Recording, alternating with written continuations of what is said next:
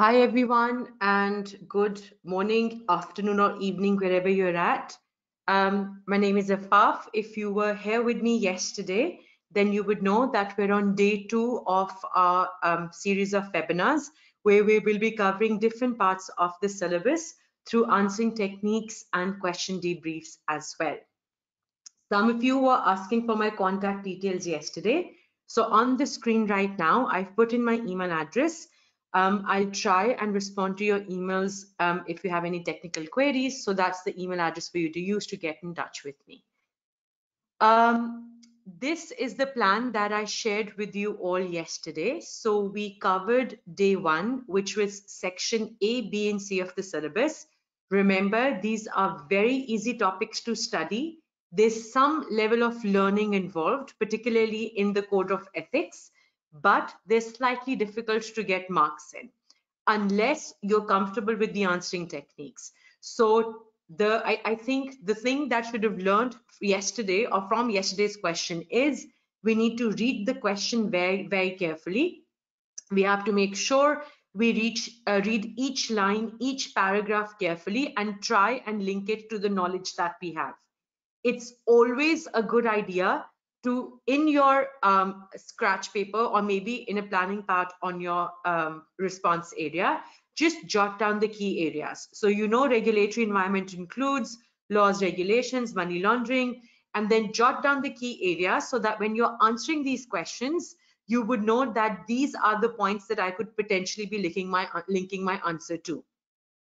Today, we're going to be covering the 25 marks in section A. So this is something I discussed yesterday as well. In question number one, um, you're going to be tested on a minimum of 25 marks from audit risk. It could be audit risk, it could be business risk, it could be a mix of both as well. The question that we're doing today covers business risk, risk as well as audit risk. I will also be talking about the case study reading approach, and I will also tell you the professional marks. So question number one is a 50 mark case study. 46 are the technical, technical marks, and then you have four professional marks as well. So keeping all of this in mind, I'm just going to jump right into it. Um, I'll, I'll, I will um, put up a few syllabus areas that I need to use as a checklist, and then I'll go directly to your answering techniques as well. Um, with audit planning, there's not a technical, there's not a lot of new technical knowledge that you should be aware of. Remember, audit strategy includes understanding the client, its business environment, its reporting framework, internal control. This includes evaluating audit risk, setting preliminary materiality, and deciding scope, timing, and direction. Once your strategy or overall approach has been made, you then make the audit plan in which you actually identify in detail what procedures are going to be conducted. As far as the AAA exam is concerned, you are not very likely to see a lot of discussion based areas on this topic. However, and this is the very important part, please understand ISA 315 has been revised to include new term uh, to include new terms now, this is not a current issue. So there's a very nice technical article on the ACCA Global website, but it's not a current issue. It's actually a revision to an auditing standard because it's a bit more detailed than normal and it's obviously slightly on the complicated side. What I've done is in your handout section for today, you can see a document which is called Tech Article Summary for Students. So this is a summary that I made for my students at SKANS and we went through this in detail. This sort of summarizes in easy terms what the changes are. So if we have time towards the end of the session today, I'll highlight the changes that are there so that when you're preparing for this, you know exactly what they are. I don't think she'll actually ask you what the changes are, but if she's in a good mood and she wants to give you easy marks, she might expect you to have a discussion regarding, for example, one of you spoke about risk prioritizing yesterday. So please make sure you use the technical article summary if you find the actual technical article a bit on the difficult side. Um, I've I did put up my email address a second ago. It's afafnoor at outlook.com. Uh, once you have the recording, you should be able to see it again as well. Right, guys. So as far as your exam is concerned, again, this is something your examiner has specified in section A, which is the case study is going to be set primarily at the planning stage of audit, and you can expect to see a good 25 mark requirement related to risk. I'm going to do this one by one. We're going to start off with the first type of requirement, which is business risk. As a tutor, I feel this is the easiest part to get marks in, but my students don't agree primarily because they struggle in explaining the business risk. So let's start off with what do we have to write when you're asked to evaluate business risks faced by the client. I'm going to scroll down. You just give me a second.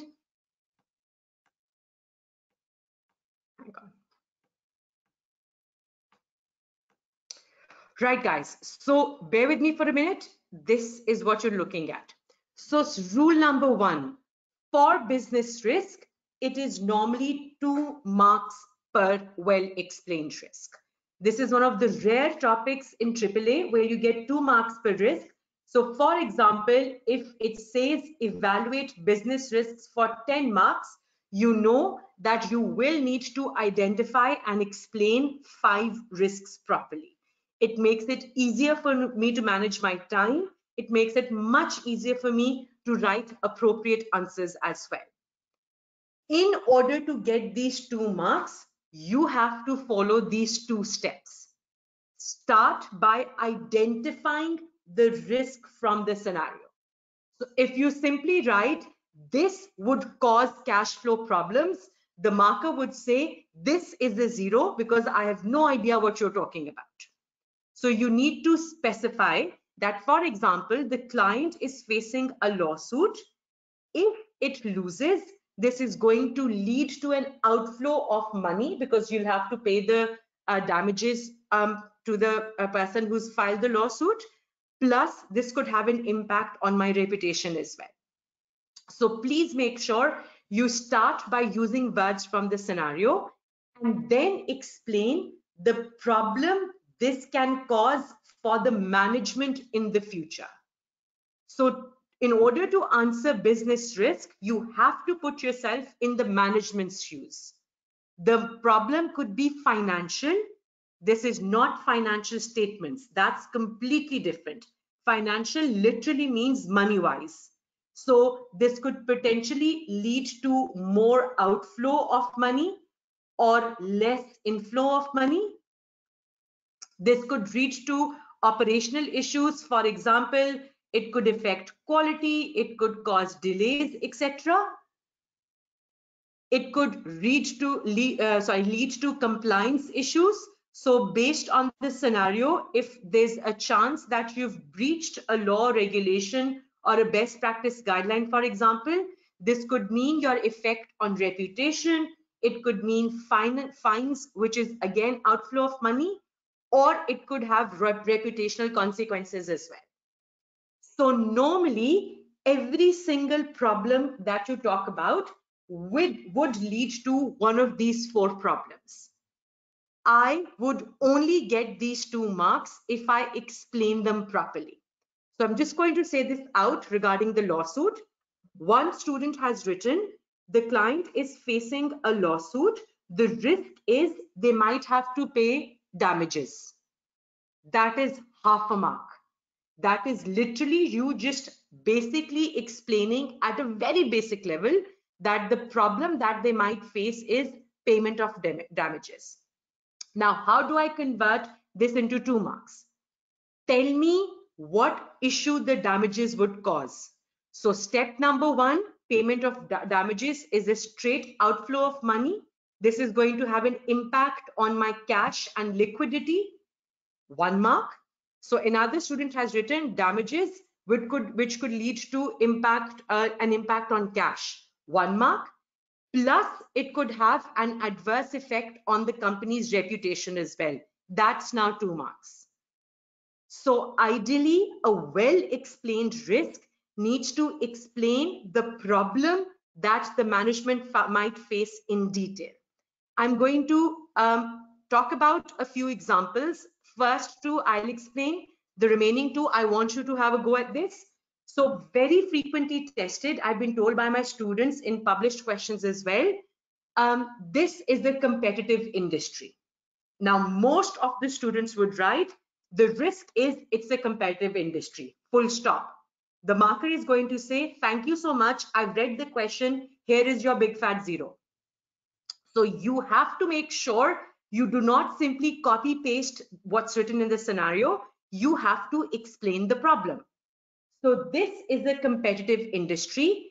In order to survive, the client might need to cut prices, which would obviously lead to decreased inflows. So you'll have to potentially sell at lower margins as well. You might need to continuously invest in new technology. Again, that would mean a lot of outflows for me as well. So you have to explain the problems or the risks that the management might face because of a competitive industry. That's the only way you'll get two out of two. So I read the information, I did some calculations, right? So I've calculated the GP margin, I've calculated the operating profit margin, and it's all worsening. Calculation marks aside, you'll have to, you can't simply write the GP and operating profit margins are going down the markers are going to say, thank you, well done for knowing basic maths, but I'm not giving you any marks for that. You will have to tell me that worsening profitability ratio actually means in the future, I'm going to be dealing with liquidity and cash flow issues as well. So if your profits are going down, subsequently, eventually you're going to face liquidity problems as well. Your cash is going to be affected, etc., etc. Similarly, if your liquidity ratios are worsening, you have to explain the problem. You're going to have issues paying off your monthly expenses. So please explain the problem that these issues could cause for the management. Remember, I've taken examples which are being frequently tested. I've had feedback from my students, um, even in questions that are not being published. So they come and tell me, oh, you know, Afaf, you mentioned that, that came up as well. I'm now going to open the question box and I want you to think of the problems that the management might face due to part C. So I'm on example C right now. And remember, my star means very frequently tested. So one way or the other, she's giving some indication in the scenario so she would say things like they do not have an audit committee or their board is not balanced. So she would be writing one thing or the other and she would expect you to tell me what the um, business risks are. Go on then, have a go at this. Afan, absolutely. Business risk actually means future consequences in a bad way. So you, your entire focus has to be on what can go wrong for the management in the future. So that's exactly what you have to do. Okay, I've had one answer. Um, I think it's Mukhtar Ashraf. He, he said poor decision making. I'll give you about half a mark for that. Um, Dua, I suppose this is not a listed company. I completely agree with, you. If this were a listed company, you would say, okay, compliance issues. Let's assume it's not.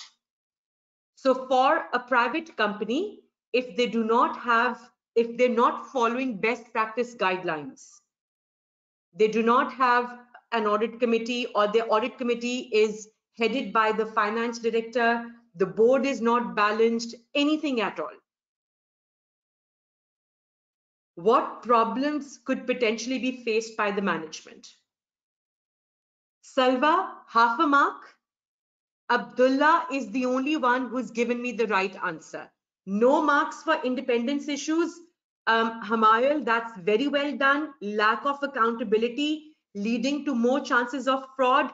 Dua, very well done. Weak control environment leading to fraud and error. Um, Mukhtar, I, I don't know, I, I'm not really sure if I'll give you marks for that, but I'll give you about half a mark for that explanation as well. I'm Yolanda, I'm reading your answer.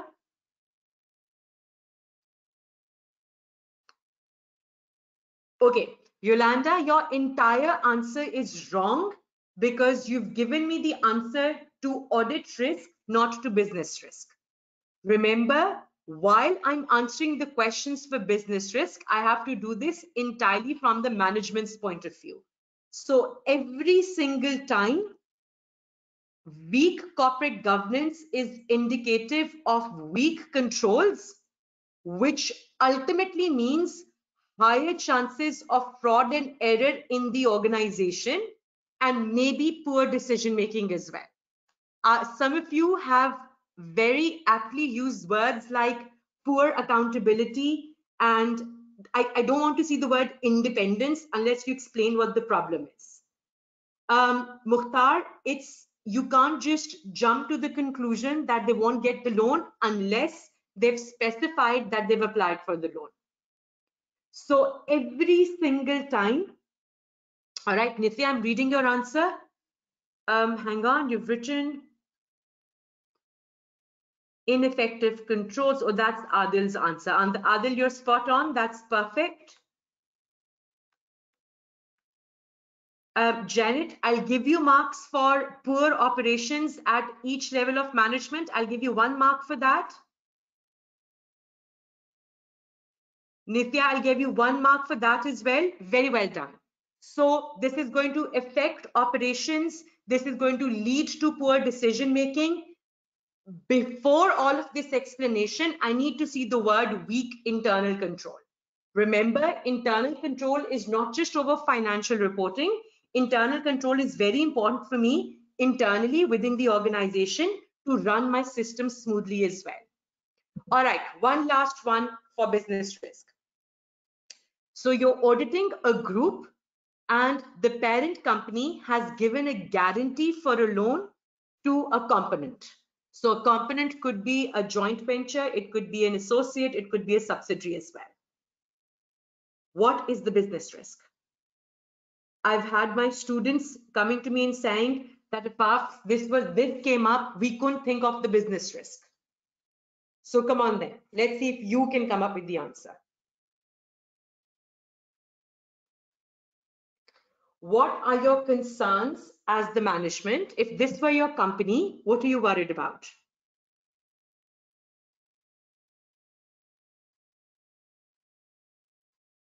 Think, think, think. So you're the parent company. You've guaranteed a loan for a subsidiary or an associate. What could go wrong regarding this guarantee? I'll give you a hint.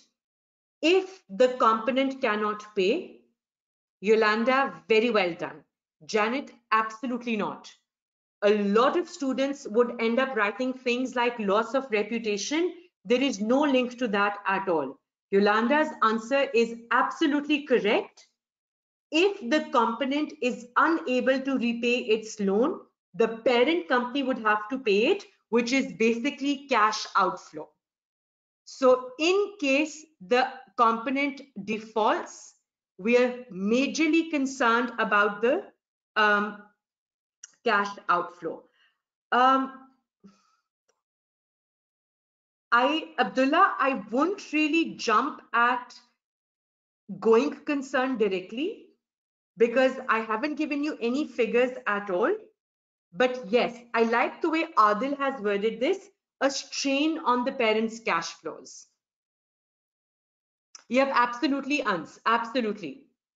So a strain on the cash flows is exactly what the, the wording that would um, lead to the answer. Absolutely, O'Brien. So outflow because of the uh, because the uh, parent company might need to pay the cash as well. Afan, spot on. So very well done. I'm going to minimize the question and answer box for a second. Um, so if I go back, if I'm asked to evaluate business risk, rule number one, remember it will be two marks per risk. So remember for a 10 mark requirement, this means I have to find five risks and have to complete my answer in 15 minutes. Remember, the rule is 1.5 minutes per mark. Then comes the part which is going to be there in every single attempt, which is audit risk. Please remember, audit risk covers two parts. It covers risk of material misstatement in financial statements, and it covers detection risk as well. So if she asks for ROM only, you get no marks for talking about mistakes the auditors can make. But if it's audit risk, then you can talk about under overstatement in financial statements along with detection risk as well. You have to be very careful about the answering format because you can actually get quite a few marks for this. You start off by explaining which topic you're talking about. You could choose this as a heading. So for example, in my example that you're going to answer in just a second, my heading would be loan guarantee. You get no marks for this, but this is a very important element for me to tell the marker which area I'm going to be talking about. You are first of all going to calculate and conclude on materiality if possible. So for about four risks in question number one, you would have materiality marks. So let's jot this down over here. For four risks in question number one, you would have these materiality marks. Please make sure you have your calculation and conclusion correct. So if you simply write this is 7% of total assets full stop, that's a zero. If you simply write it's material, that's a zero. You have to explain the exact materiality calculation. So let's start filling this format out. The loan guarantee was given by the parent to a component.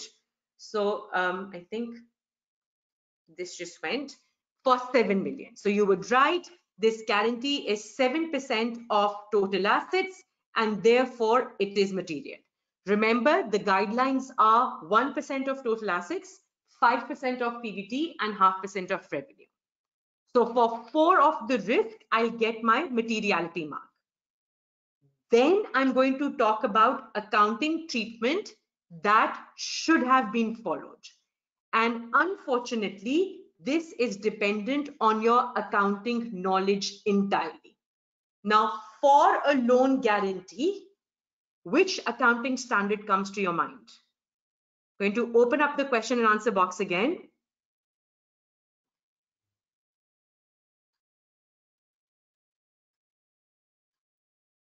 Yolanda, I hope you haven't written um, loss of customers for loan guarantee, right? That's not going to happen. Oh my God, I'm getting all wrong answers. Yeah, why don't you just start naming every answer? What, what IFRS 9 are you talking about? Richard is the only one who's given me the right answer, by the way. Every single other answer is incorrect. Natasha and Richard, very well done, guys. Please, please, please, Yolanda, Mukhtar, Godfrey, Amir, it's not my loan. It is not my loan. Oh, Yolanda, that's correct then. Please understand, and I hope you don't make this mistake in the actual exam. You cannot have a double entry of a liability of the loan. You've just given a guarantee. In case it is probable that the component is going to default, a provision, if it's possible, then a contingent liability disclosure. So most of you would end up writing IFRS 9, etc. Um, that would be completely wrong. This is not my liability. So you would write according to the reporting framework, if there's a probable outflow, then a provision would need to be booked. If it's a possible outflow, then a contingent liability disclosure would need to be given. So I get one mark for explaining the accounting treatment that should have been followed. Stay with me on this one. Then you have to explain the risk. The risk is that this has not been followed. In other words, the risk is that provision not uh, booked or a contingent liability disclosure is missing and then explain the financial statement impact. So risk and then the financial statement impact. So for provisions, your liability plus expense is going to be understated or it is a disclosure which is going to be inadequate or missing. For each correct impact, you get half a mark. So this basically means including the materiality mark, you can get around three and a half marks for each, each well-explained answer. Please understand, if you ask me Afaf for a 24 mark question, how many risks do I have to write? I can't give you that answer.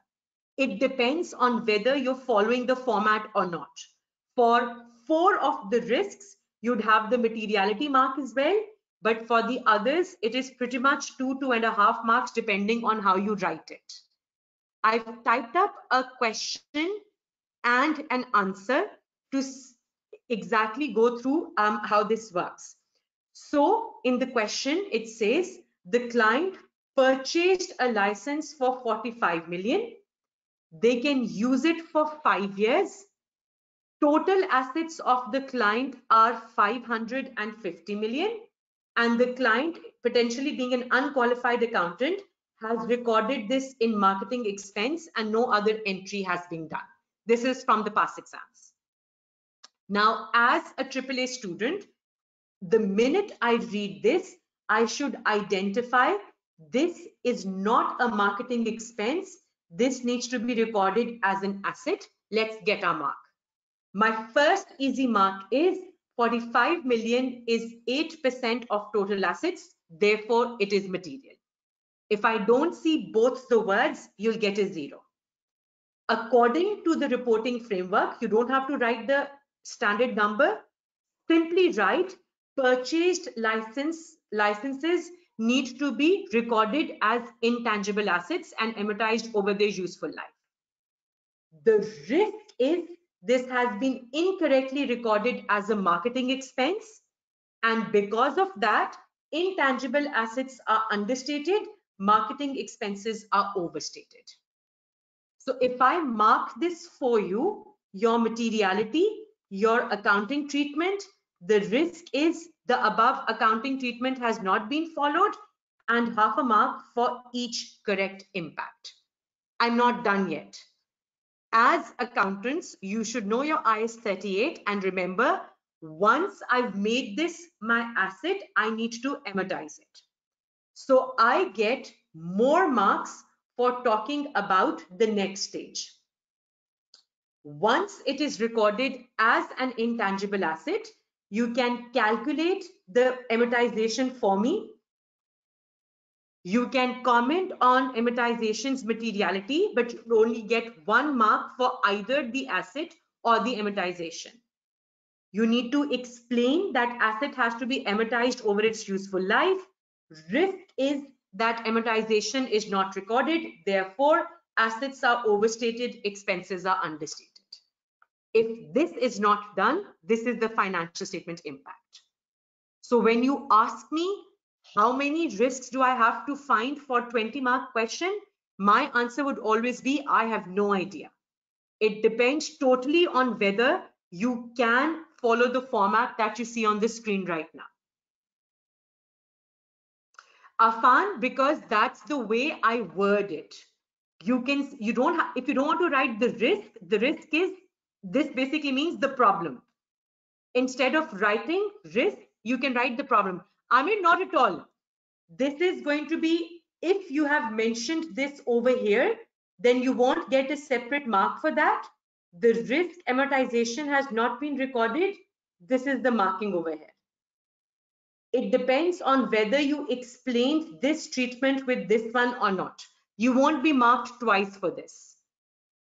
So for the accounting treatment, you'd normally get a combined mark. If you say number one, it should be an asset. Number two, it needs to be amortized over its useful life. Similarly, for materiality, you would either get it for 45 million or you'd get it for 9 million because she says related to one area, I'll only give you one materiality mark.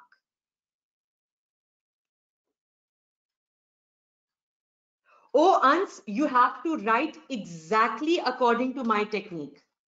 And I can say this with a 100% guarantee that you get marks. Afaf, I just said I'm not giving you that answer. I've, I've said this at least four times, huh? I'm not giving you that answer at all. I have no idea what a safe number of risks is if I don't know whether you're following the format or not.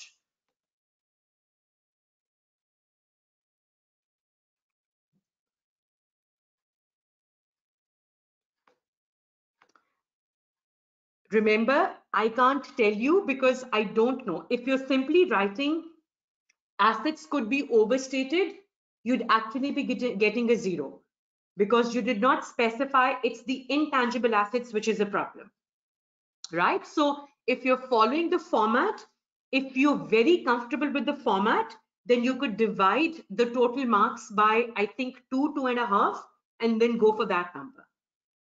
But I always say instead of managing according to marks, do it according to time. So 20 marks multiplied by 1.5 minutes, answer as much as you can in the allocated time and then move on to the next part.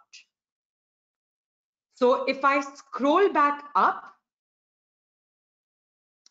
I've now covered the second part as well, which is the technique that you have to follow for risk of material misstatement there is no technique for detection risk. You can get two marks per well-explained detection risk.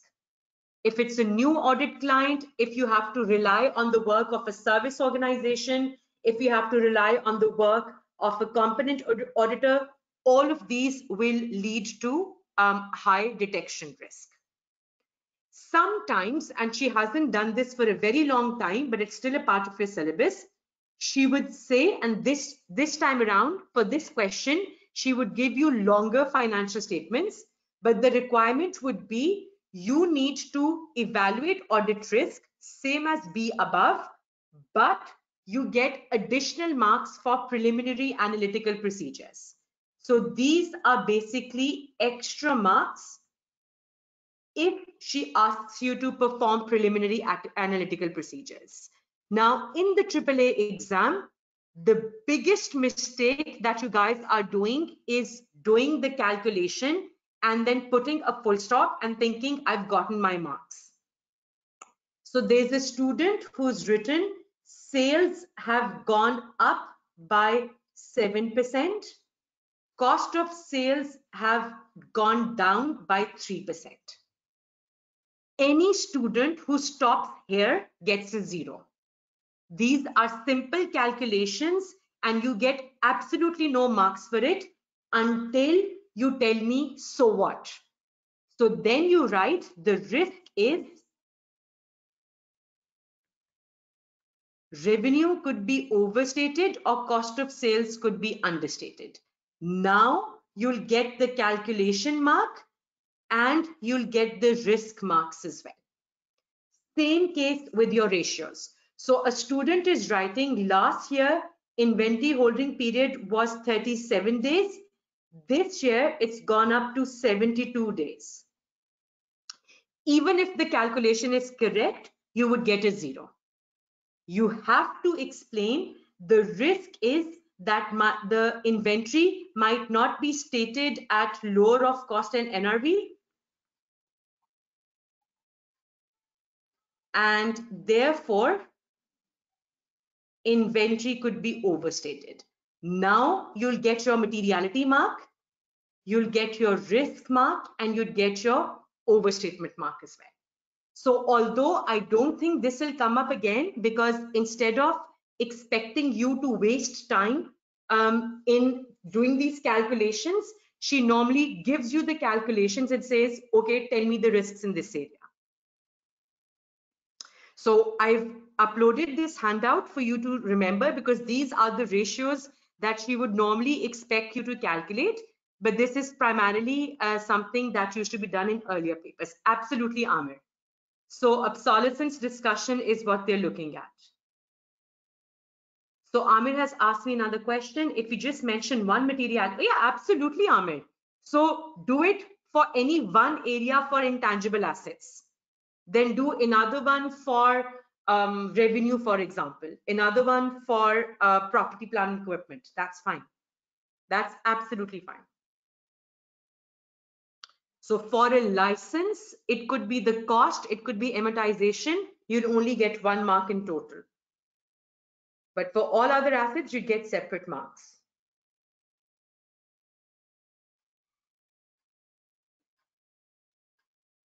Any questions still here, guys? I'm going to give it a few more minutes to see if you guys have any questions. I'm going to talk about the case study technique, the professional marks, and then we're going to be doing a case study with BR and audit risk as well.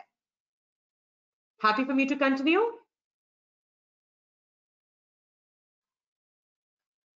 All right. Super. So in terms of the case study, I'm going to first tell you how your case study is structured, the sequence in which the information flows, and then I'd tell you a technique that you can apply today. It might or might not work for you, but at least try this today. So starting off with the AAA case study, it has a very predictable sequence of information. On the very first page, it will give you a few paragraphs in which you would be able to identify today's date.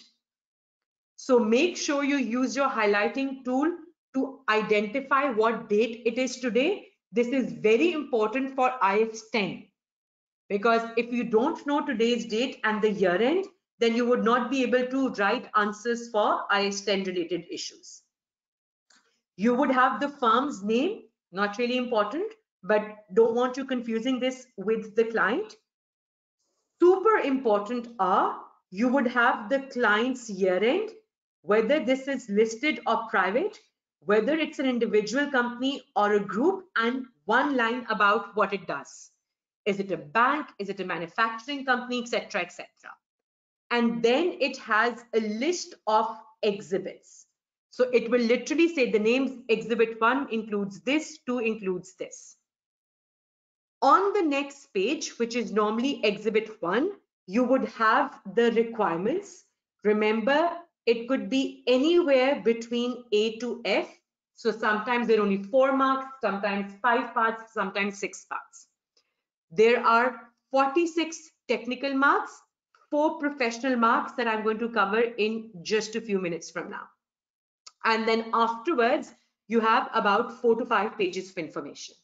It's rarely five pages, it's normally four, but then again, this is something which is more of a trend rather than what the examiner has said. So in the first page, it's very important to underline the key parts so that I don't miss out on my obvious answers. I would recommend that you try and use up to 20 minutes for doing step number one and two. So for step one and two, this is what I want you to do. So the invigilator says you can start your exam right now.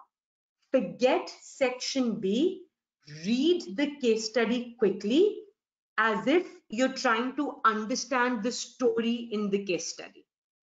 You're not trying to remember any information, but a quick read through the entire case study to see what has happened. It would start off with the client's background, it will give you some information about events and transactions during the year. It would have some part of financial information extracts, etc., etc. Then the second time, I want you to read this slowly and this time highlight the risks that you find. Remember, risks are going to be about 25 marks out of 50. So in the second time reading, if you spend a bit of time in highlighting the risks, then that's the best thing to do. After you've read the risks and highlighted them, you can start copy pasting the highlighted portions in your response area and answer each part using the 1.5 minute rule. So in the actual exam, for part A, if it is 10 marks, no matter how well I know the answer, I shouldn't spend more than 15 minutes on this one. So the examiner is saying it's important that you spend some time in understanding the risks because if that's clear, the rest of the questions will become much easier for you to attempt as well. So today, I'm going to ask you to time yourself. I hope you haven't done this case study before. If you have, still doesn't matter, do it from the scratch and um, just try and see how much you can do in the first 20 to 25 minutes. One last thing, and I'll open up the chat box. If you remember yesterday, I did say I'll tell you the easiest way to get four out of four. And you can potentially get these four marks in the five first 10 minutes of attempting your answer. Your first mark is for writing true, from, and subject. So based on the requirement, she would tell you who the briefing notes are for, who are they from. So to the engagement partner, from the engagement manager, planning of ABC Co. So literally when the markers see to from subject, they would give you the first mark. Then the next thing should have an introduction. Please don't write long stories. Simply summarize the requirement. These briefing notes contain a, an evaluation of business risk, audit risk, along with ethical issues faced by ABC. Simply writing this would get you your second mark. Throughout the question, particularly for your risk, try and use headings. So for example, and I've done this with you already, you could write license, explain your answer. You could write um, uh, compliance, explain your answer. So when the markers see the headings, you get your third mark. There is absolutely no extra effort needed for the fourth one. As long as you're writing in full English sentences and you are answering the requirement, you would get the fourth mark.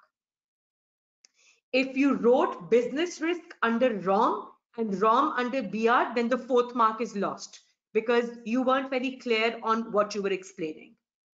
So clarity of expression is simply, please answer the requirement and write in full English sentences. If you were able to explain your risks properly, you would get the fourth mark easily. So please understand, since 2018 September, she has only been testing briefing notes. And these are the notes which contain your first mark, your second mark, and your third mark. You should have a conclusion at the end, just a one line conclusion to say, this is a risky client, we need to be careful, and that would be fine.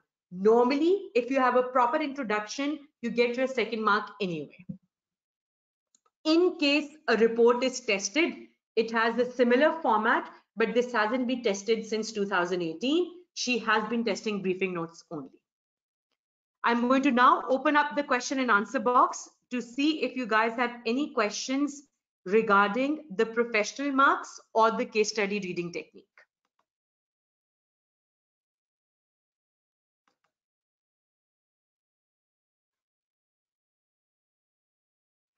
Amar, they have been uploaded in today's handout section. I think it's under a heading called solved day one. Let me just have a look. Yep, it's called day one solved merged PDF. That's the one from that's going to happen for every single day. Huh? Uh, the previous day, uh, day's annotated handouts will be um, added on the next day. Ahmed, no, no, no, no, not at all. Thank you for asking this question. Introduction is to the briefing notes, explaining the contents of the briefing notes. So these briefing notes contain these four areas. That's it. No, Afaf, just use precise. So for example, for business risks for 10 marks, I should see only five headings. That's it. For audit risks, if you found six of them, I should see six headings. Oh, absolutely, O'Brien, yes. Absolutely, yes. You will get some or you can get some risks from the background information as well. All right, guys. Before I get you to start the case study, remember we're doing half of the case study today, which is the risk portion. But very important to remember, and please, please follow this. Try and do both parts step by step. So read the case study quickly, read it the second time, highlight the business risk only because that would keep you focused on thinking of problems faced by the management. Then read it again and think of the audit risk only. You could try and do it simultaneously. Any student who is practiced from the revision kit should be able to do that. But if you haven't, then you might struggle a bit. Normally, I would recommend doing it step by step. First, look for business risks, answer that part in the actual exam. Then risks, look for audit risks, answer that part in the exam. Right now, please do not start giving me the answer straight away you should start giving me the answer after you've read it the second time. If you give it to me after the first time reading, trust me, you'll be giving me the wrong answers. Unless you know what has happened in this case study, the transactions, the events that happened during the year, you would not be able to come up with good answers. You can highlight them, sure, but type them in after you've read this the second time. Keeping all of this in mind, uh, please remember, I won't be able to fit in the case study on the screen, obviously. For now, I'm looking for answers to A and B only. I'm not going to do this with you at all. All I'm saying is, at the moment, I'm looking for answers to 30 marks. I'm going to give you about 20 minutes to start off with. Of course, you can take more time, but I want proper answers so I can mark them while you send them in as well. I'm still here. I'm putting myself on mute. Please download the case study. It is the 1st of July uh, one and start doing it. Remember, it's very important that I highlight the key information when I start reading the case study.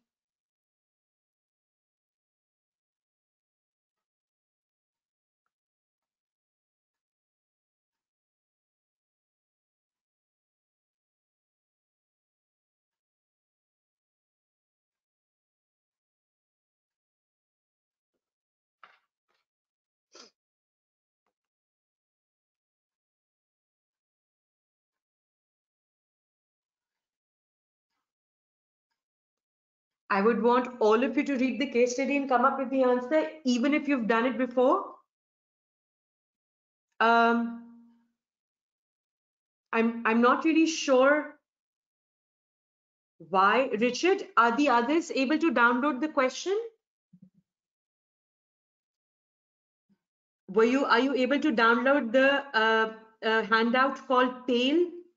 Richard, I'm not sure how I can help. Um, Edmund, the questions from the other participants are only visible to me. All right. Richard, I'm not sure how I can help. You should try and download it again. Maybe that'll work. Do the traditional refresh, shut down, start again of that particular software or file.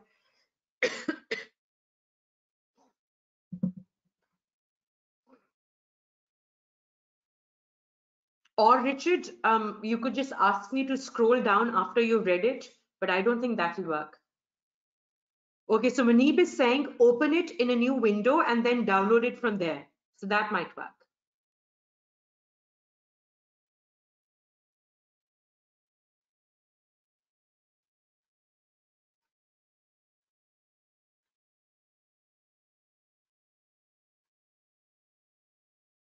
I want to see how much you can pick up from these 30 marks. So please do this step by step, huh? First, I want, after the first 25 minutes, I only want answers to BR. Salva, I'm not commenting on any answers for the next 20 minutes. You need to read the case study twice. The second time around, I need the answer to BR only. for now, in the exam and for now, I only want the answer to part A. And when you guys are sending in the answers, don't just copy paste from the question, tell me what the risk is.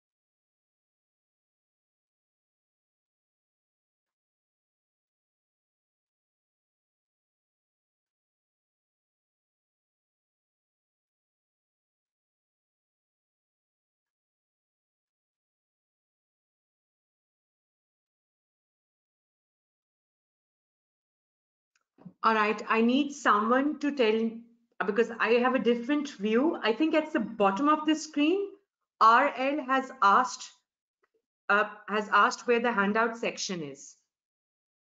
Could I uh, request one of the audience members to please help because I have a different version because of course I'm the presenter, so I won't be able to explain it. Is it somewhere right at the bottom of the screen?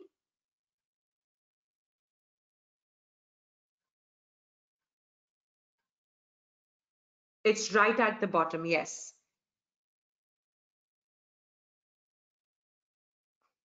Thank you, Amir.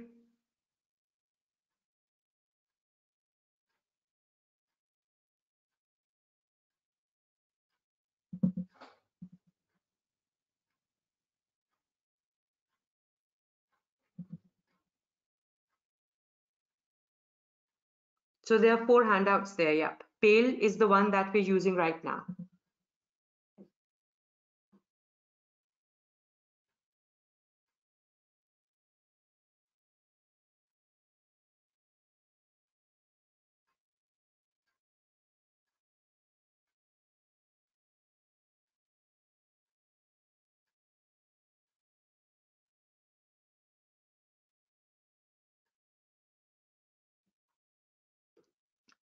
Please be careful the first time for part A, you're not accountants, you're the management, huh? You're not auditors.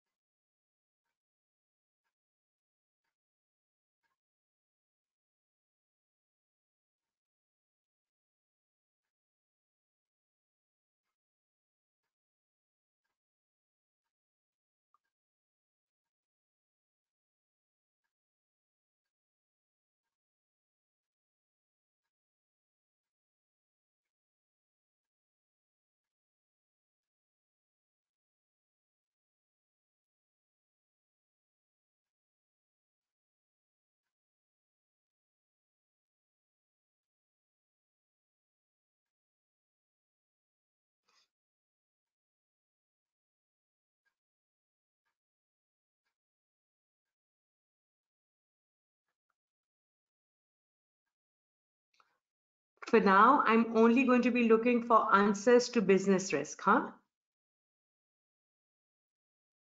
Once we've discussed those, then we'll move on to the second part.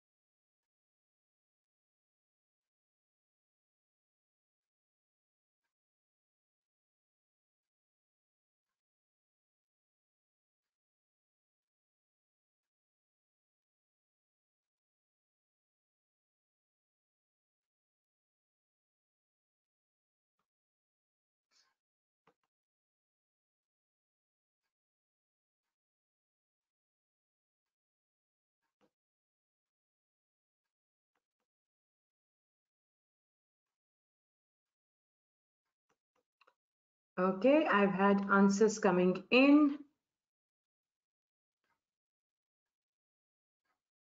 Zahu, your answer for the first half is incorrect. Your entire answer is a zero.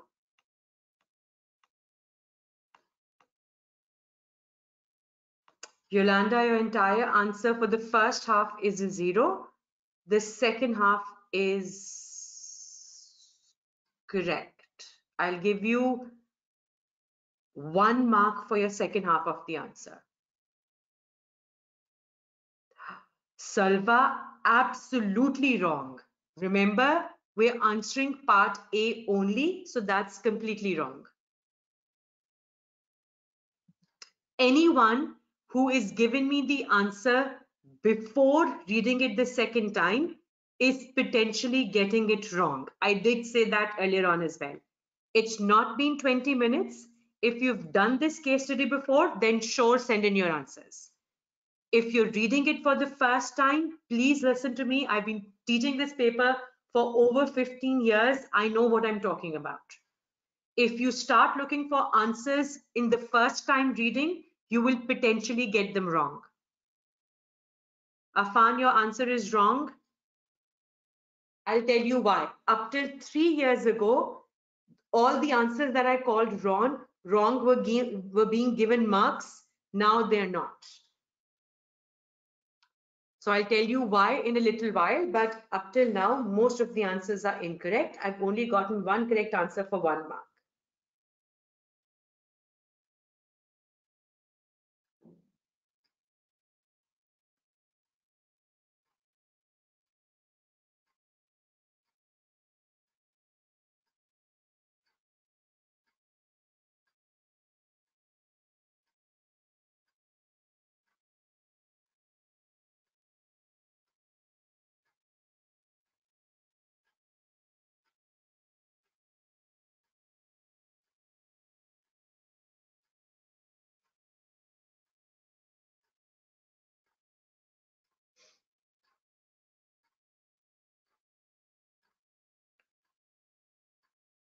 For the next 20 minutes or so, I will be commenting on your BR answers only. Then I'll debrief business risk for you. Then we'll do the audit risk answers. That's exactly what you should do in your actual exam as well.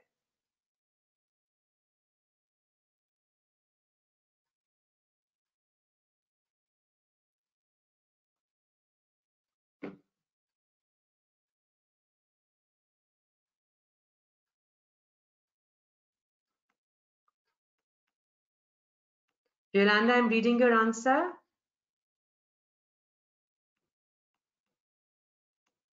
Perfect, Yolanda. Very well done. That's absolutely correct.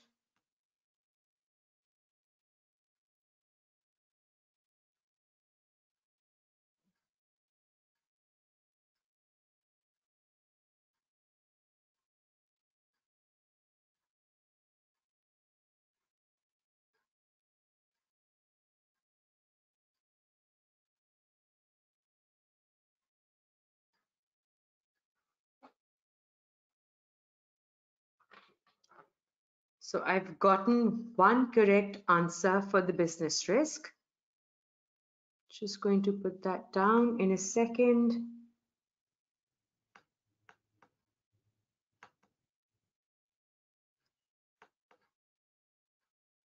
All right. Um, Hamayal, I'm going to read your answer now. Hamayal, you'll have to explain what the problem with it being a foreign and remote country. So the way you've written, it's a zero for now. Very well done, Adil. Very well done. That's perfect. Edmund, you'll have to tell me what the problem is in the news report. Sam, very well worded. So regarding the expansion, I have two answers um, lack of knowledge of the local laws and regulations and uh, management having problems in overseeing the activities. So it'll take up management's time. They'll have to monitor it, monitor it remotely, which could affect decision making as well. Dua, very well done. You don't need to talk about the loans because that's an assumption. Don't speculate but I'm happy to give you marks for liquidity issues because of the fact that um, it's obvious they have uh, a loan uh, related issues. Absolutely, Hamal. So I'm just going to, for now, mark the correct answers that I've received up till now. Just going to scroll up. So my first correct answer has been this one. Laws and regulations are different, plus management would need to monitor. Um, all of this is the correct one. Then the next correct answer that I received, I was very surprised because that was a difficult one, was this one. So again, this is going to lead to cash flow outflow so cash outflow plus reputational damage as well. And there was another one that I received. I was, hang on, let me just minimize this so I can see the case study properly. Yep, this is indicative of liquidity issues as well. It's one of the problems related to liquidity. So these are the correct answers that I've received up till now. I've had more answers coming in. I'm going to comment on them. Right, hang on.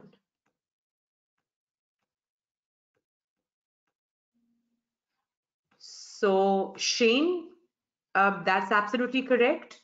Fines and breach penalties from the breach of health and safety guidelines leading to cash flow and liquid um, reputational issues Vineeb, done, very well done. Not meeting the gold standard requirements, leading to reputational issues as well as loss of revenue. That's a very good way to word it. Franklina, very well done. Again, the lawsuit is going to result in cash outflows. Very well done. Super.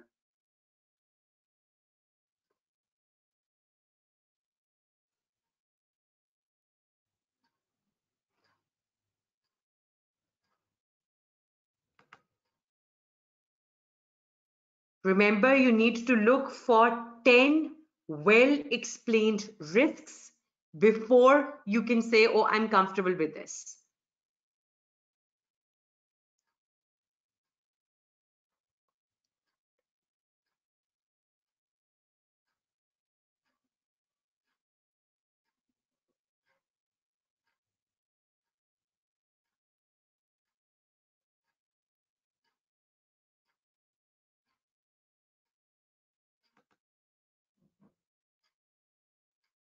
Come on, guys, there's lots more. So pretend this is your company and this is what's happening at your company. You're the owner, huh?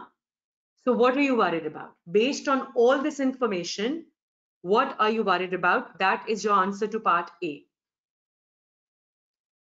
No, Amir, not going to give you marks for that at all.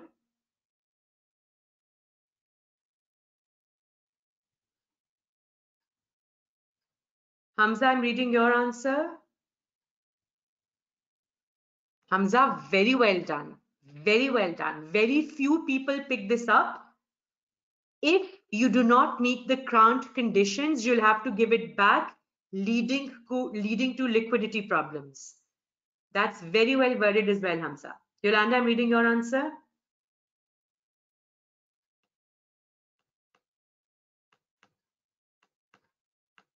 Yolanda, very well done. Very well worded. So lots of indications that the gold standard might not be renewed. And remember, I've just gotten a major customer because of this gold standard as well. So the loss of this standard is going to have very serious consequences.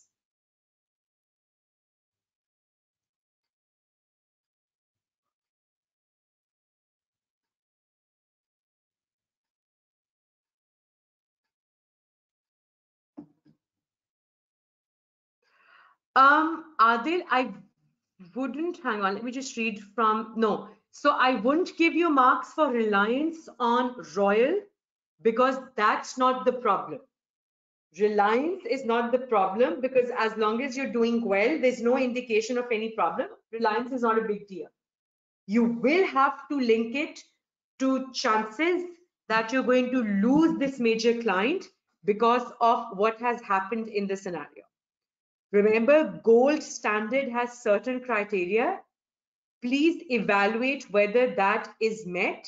And if not, then not only with the standard um, uh, be withdrawn, the gold standard accreditation, you would also lose the major customer as well. Then that becomes your answer. No marks for this Hamza. No marks for exports related problems. Up till three years ago, she was giving these marks. Now I'll tell you why in a little while, but now she doesn't give them anymore unless there's an indication there are problems.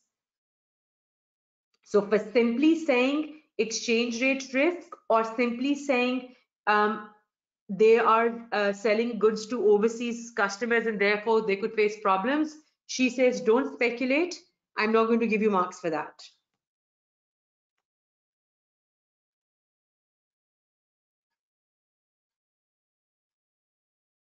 Shane, very well done. Your plans to get your listing could uh, get affected in the future because of the negative reputational impact. Love the linkage. Um, no, Amir, she won't give you marks for dilution of shareholding. She doesn't give marks for things like that. Um, she won't give you marks for assuming that the timber industry is going to be highly regulated. If she's not specified it's highly regulated, then no marks for that. She keeps using the term do not speculate. So if you feel at any point in time that there was no indication given and I want to write the answer, don't. Because she's saying, unless I tell you this is a regulated industry, don't talk about non-compliance. Sam, I'm reading your answer.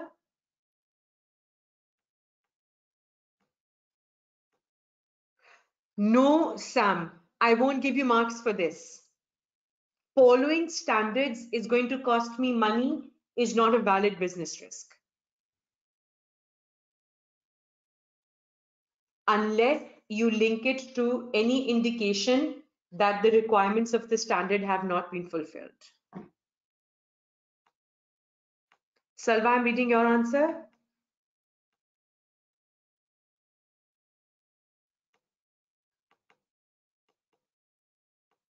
Salva, very well done. for the employees related issue, it's not only just the outflow, it's the reputational impact as well. So yeah, spot on. That is absolutely spot on. Um, I'm not sure.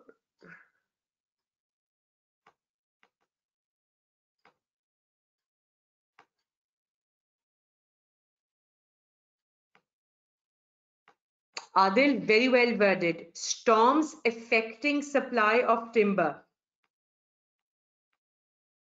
Franklina, very well done. Not being able to go, uh, meet gold standard requirements is my answer. I missed someone saying, please respond to my answer. I'm not sure whose answer I've missed. Could you please send it again? I just saw, just literally went up very fast someone just messaged to say, please reply to my answer. If you could please send your answer again. You copy, paste it and send it again, please. So the last answer I can see is Franklina's and I've commented on that. Yup, Afan, I'll give you that mark as well. Very well done. Edmund, very well done the bribe is going to lead to a lot of repercussions, which include reputational damage as well.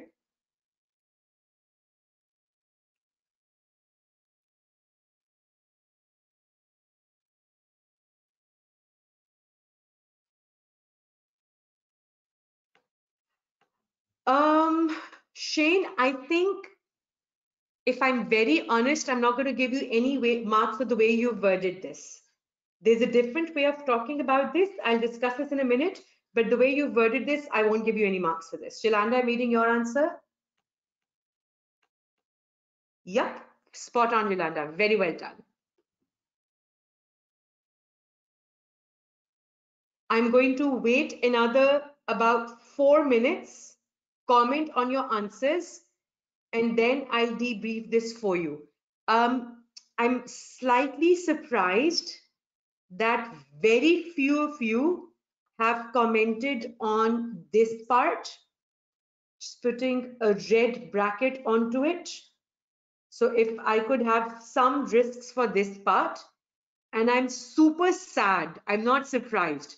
I'm super sad that you've missed out on another very easy part. So these two marks you've missed out on, which were very, very easy. Let's see if you can come up with the answer to this. Um, Mukhtar, I can just see the word under more.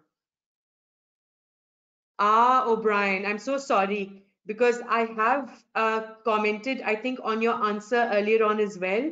I'm not sure if you missed that. If you could copy paste your question again, then I'll let you know.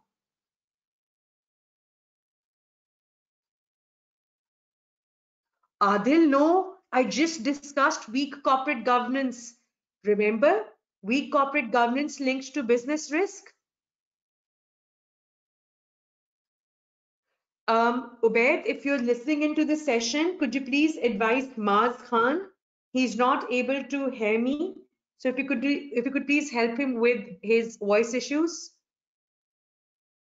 Sam, thank you so much. Very well done. Sam has given me the answer to the damaged timber plantation. I know one other person gave me that answer. Mukhtar, very well done. What does poor corporate governance lead to? Adil, no. Adil, for this paragraph, the fact that you have a small internal audit department who reports to the CFO and they don't have an audit committee is weak corporate governance. Just about an hour ago, we discussed weak corporate governance as a business risk as well. Can you see this? And I actually put a star next to it as well. Ah, okay, that's fine. That's absolutely fine. The um, bracket is next to the internal audit point. Thank you, Homera. So weak corporate governance, I'm very surprised slash sad that you missed out on these two easy parts, guys. You shouldn't have.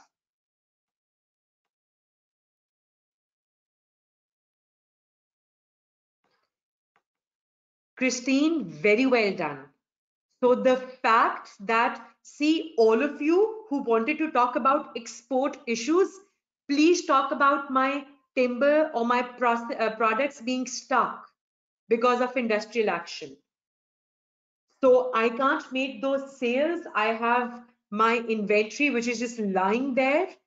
My trees have been destroyed. There are a lot of problems related to that from the management's perspective. Hamza, very well worded.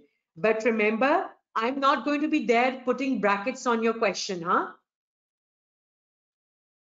Edmund, from a business point of view, weak corporate governance leads to weak controls, which means your decision making is affected, which means there could be um, fraud and error in the organization, not in the financial statements, in the organization. This could potentially mean lack of accountability, etc., etc. Afan, I'm reading your answer.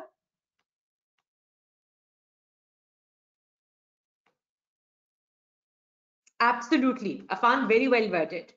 So weak corporate governance is indicative of weak internal control, which could, which could increase the chances of fraud and error within the organization. This could lead to poor decision making, poor monitoring, lack of accountability. You could just use these words interchangeably. Another minute, and then I'm going to minimize the question and answer box and debrief only part A. In the exam as well, I would recommend that you do it step by step so that you don't get confused. No problem, Edmund. Just another minute if anyone else is sending in their answer. And then I'll tell you how you need to be picking up points and explaining them. You could easily be getting two out of two for a business risk as long as you've explained the problem in a couple of sentences. You don't need to write paragraphs to get those two marks.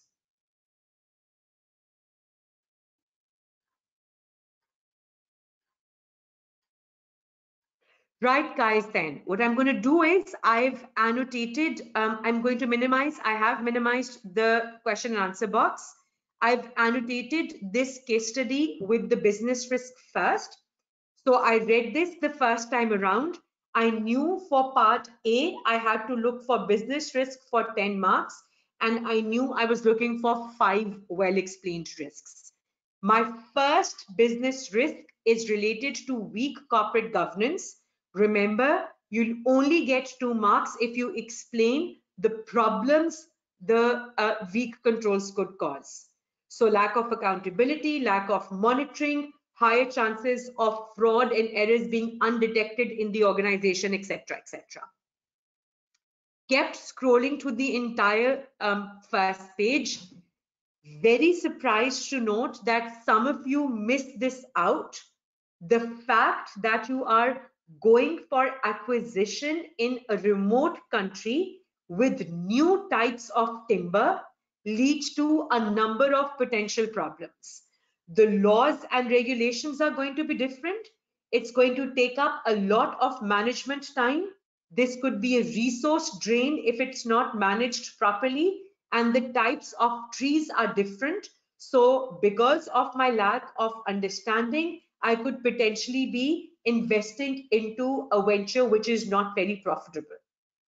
So with regards to Farland, you need you can think you need to think about what can go wrong. With regards to the third point, remember it's at the limit of its bank borrowing. They are getting a grant which is going to be used for the Farland expansion and some money is going to be used from the share issue as well. I could talk about the fact that because it's reached its bank borrowing um, limit, then this could potentially be causing solvency issues in the future.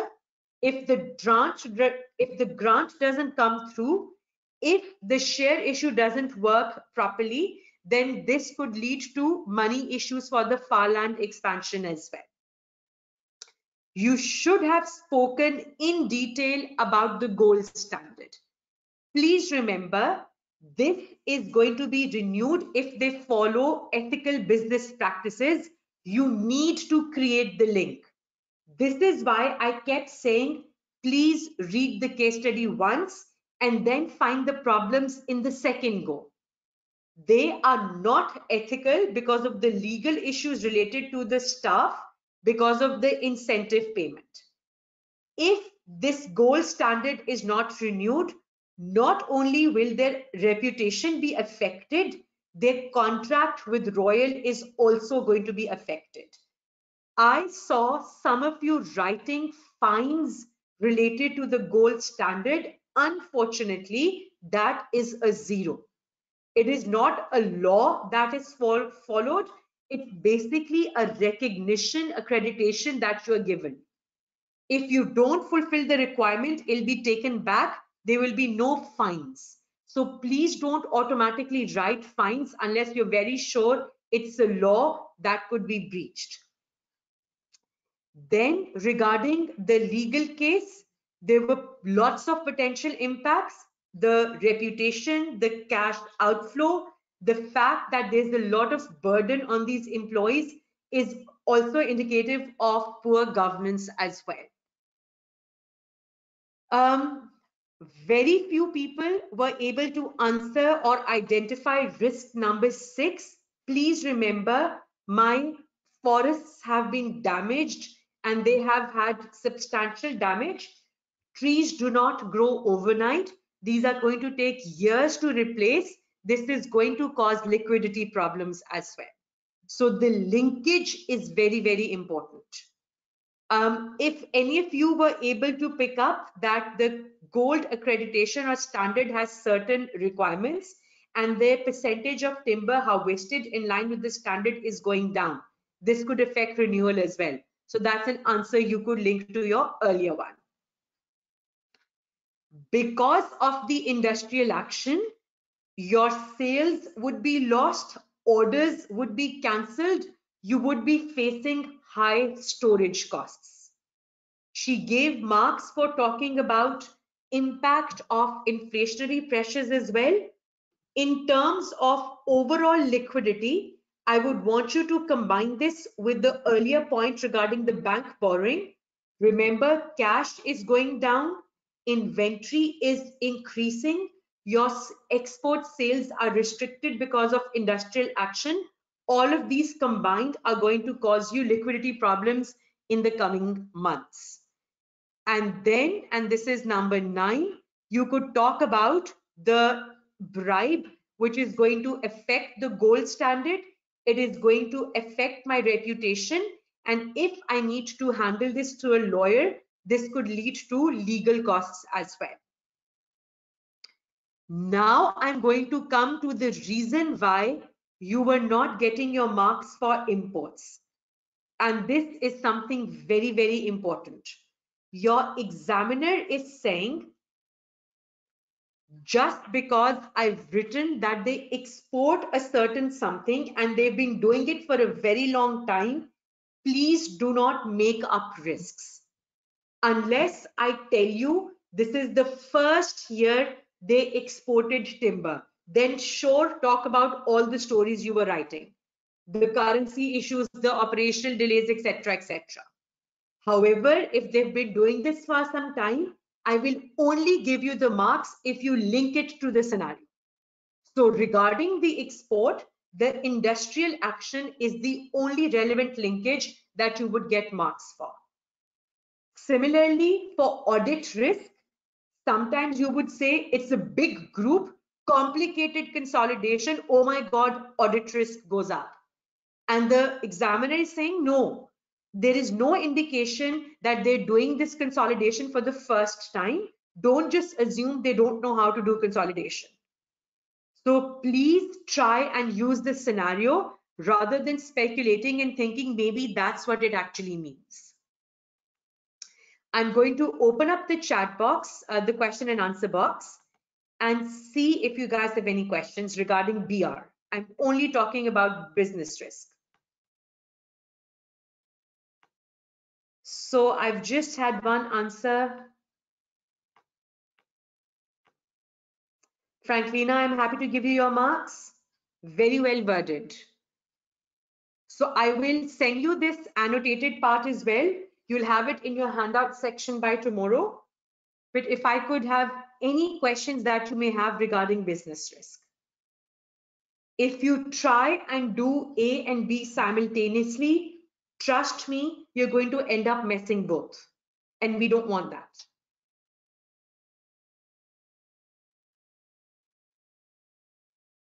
Okay, guys, I'm going to give you another five to 10 minutes. You've read the case study once.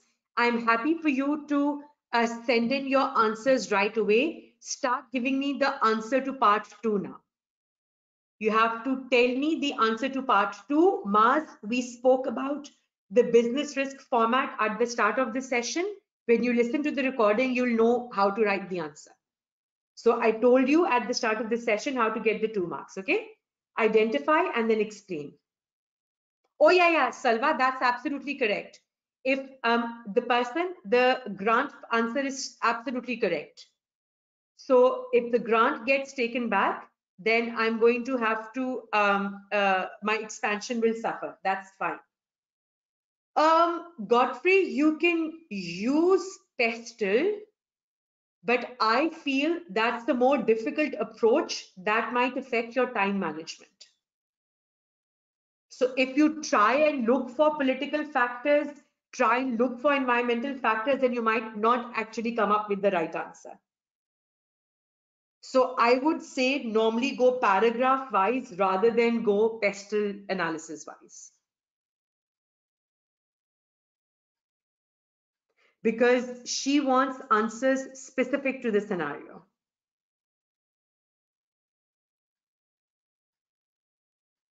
I'm happy for you to start sending in your answers. Otherwise, please take five ten minutes and send me the answer to um, audit risk.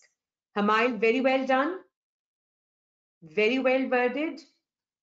I hope all of you found the easy two out of 20 marks, which was first time audit with no experience of timber company. So that is absolutely perfectly worded. I want I want you to please also tell me which risks would have the materiality marks as well. Even if you're not doing the materiality calculation, it's absolutely fine. But at least tell me that I do the materiality calculation for this one.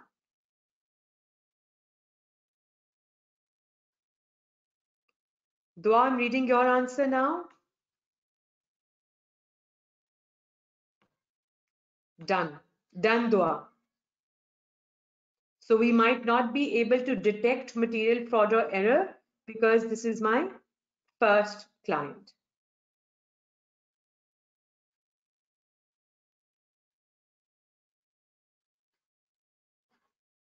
Done, Yolanda. Spot on.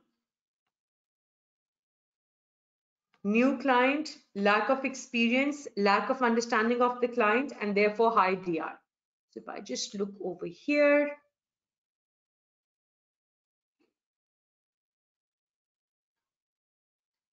I'm just going to share this, and you've correctly identified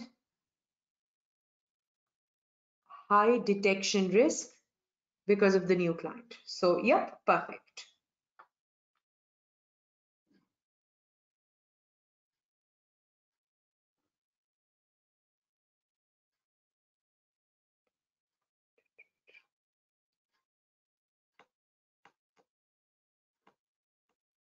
Adil done? Um, Adil, this increases detection risk, not ROM. This does not include uh, increase risk of material misstatement, okay? DR. Hamail, very well done. Very well done. Good answer. Good answer, Hamail. Hamail, there are lots of other indications of manipulation but one of them is the fact that they want to get um, listed. Nope, absolutely no marks for translation risk. Unless she has specified this is something new that happened during the year. Edmund, very well done. Please remember to get two marks for a new audit client, you need to talk about lack of understanding plus opening balances as well. So very well worded.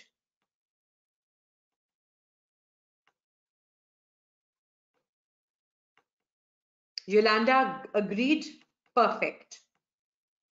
So Chantal, very well done. So I've had all correct answers regarding what you can see on the screen right now, which was high detection risk because of lack of understanding of client. Plus, there is a risk that your op opening balances could be under overstated.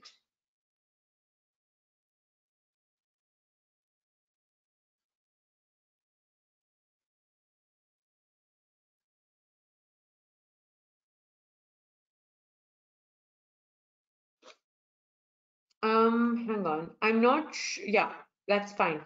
Afan, I'm reading your answer now.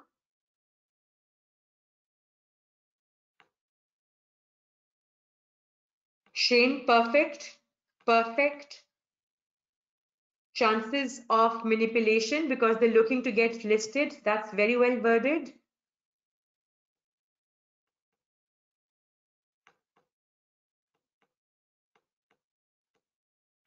Afan, very good wording.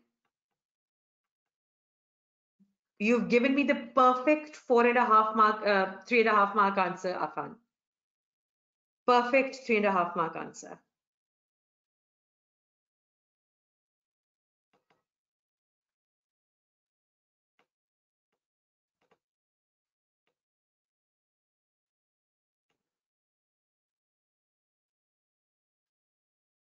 Guys, could you also please give me the ROM related to weak corporate governance? Weak corporate governance has a risk of material misstatement as well.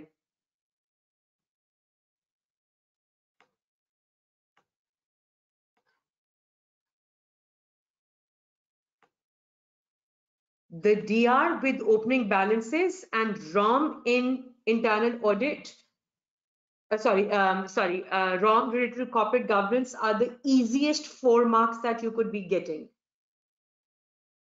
All right, Mukhtar, so what?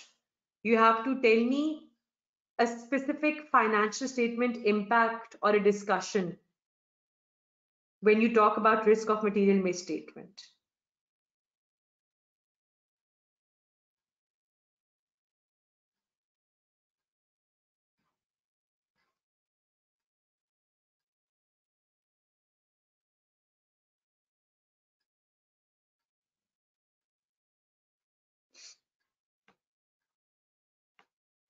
Yolanda, I'm reading your answer now.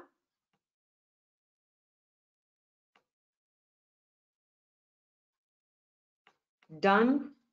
Hamail, reading your answer.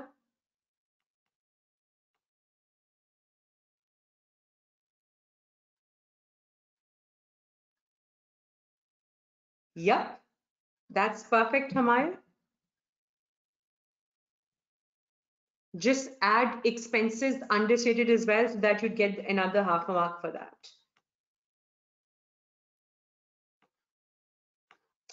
Very well done, Edmund. So weak internal control means control risk is high and therefore chances of fraud and error in the financial statements. Edmund, very well worded as well. So overall, there could be problems, fraud and error in the financial statements. Amir, I'm reading your answer. Yep, Amir love the use of the word control risk and controls are weak, but I need to see the word fraud error in financial statements. Why can't I recognize half of the grant? You're on the right track, but I need to know um, the under overstatement.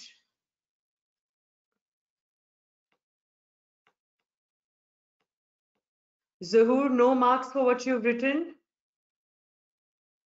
Yeah, Yolanda, your answer is correct. Yep, I did. I've read it. It's absolutely perfect.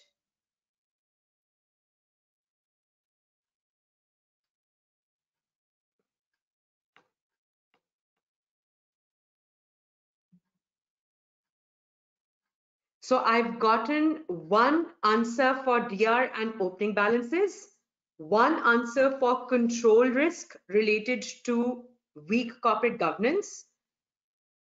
I've had no right answer regarding grant.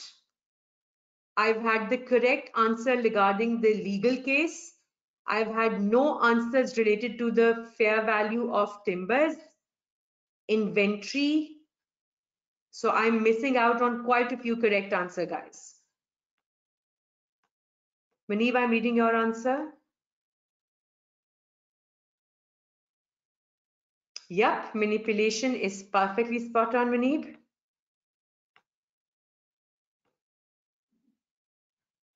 Dua, I'm reading your answer.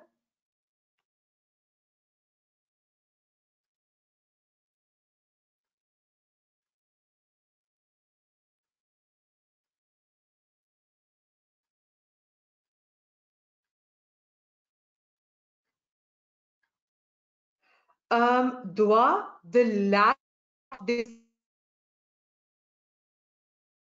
statement of, of disclosure would not result in an overstatement of profit. Please remember, it is the lack of the double entry of a provision which will lead to this. Remember, disclosure is not a double entry. So don't write lack of disclosure would lead to this.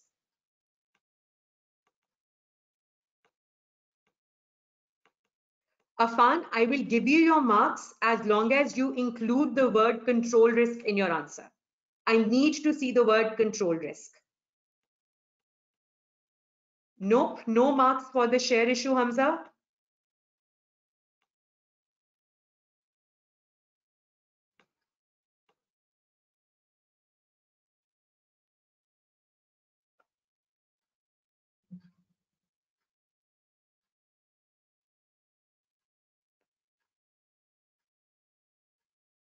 Share issue is not something um, that she will give marks for unless she has specified that there's a problem in the way this was recorded.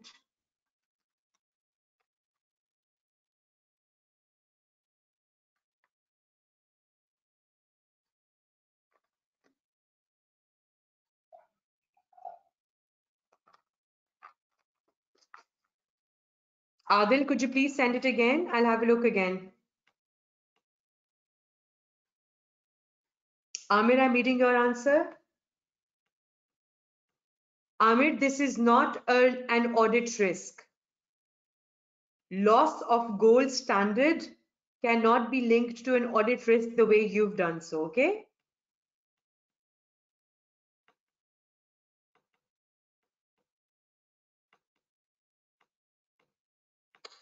Um, Adil, there's a problem in the way you've answered this. If it's probable then it's not a disclosure, it's a double entry of a provision. So no, I won't give you marks for your answer because you've gotten your accounting wrong, right? It's if it's probable, then it's a debit expense credit provision. If it's possible, then it's a contingent liability disclosure. Um, guys, when was the recording for yesterday uploaded? Was it done yesterday or was it done today? Uh, Tala has asked me when the recording is going to be uploaded. I am slightly unclear on that. Very well done, Zahoor. Very well done. Thank God someone has given me IAS 20 answer. So Zahoor, spot on regarding your answer.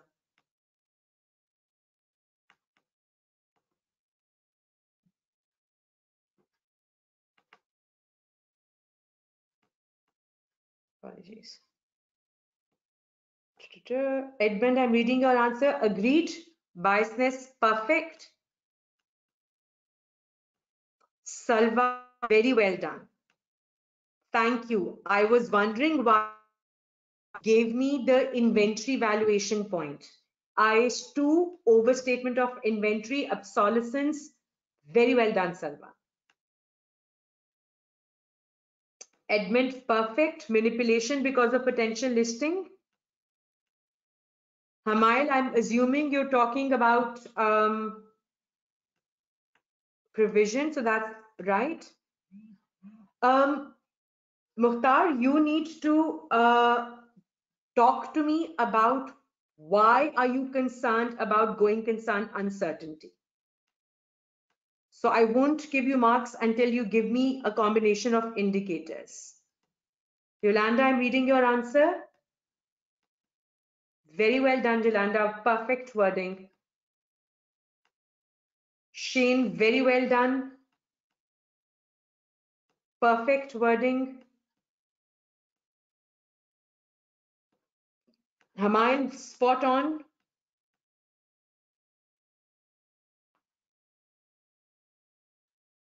So I've been told um, by the ACCA team that recordings will be available today. Once the session ends, then recordings will be available today.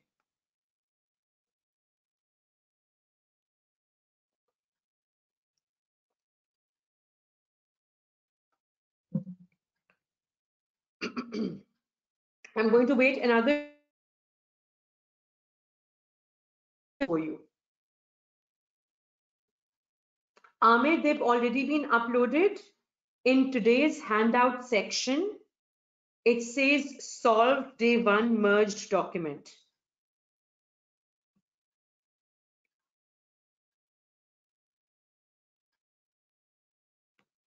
All right, I've had another answer. Afan, I'm reading your answer.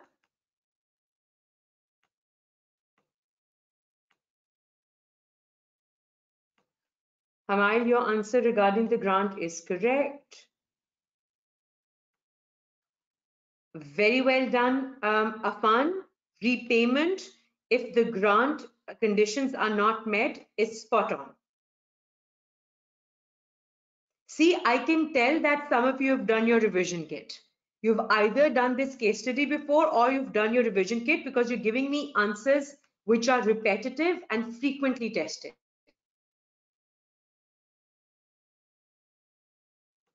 Dua, I'm reading your answer. Very well done, Dua. Perfect answer. Shane, very well done. I didn't think anyone would be picking up that answer, but good, good answer. I'll cover this in my debrief as well. Franklina, good wording. The provision for the lawsuit is, I think, three times that of the profit. So huge issue there.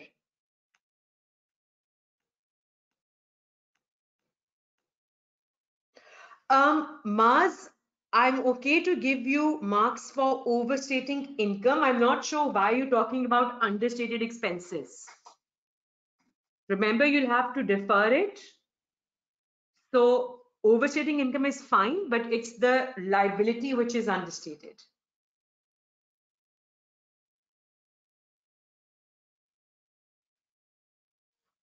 Yeah.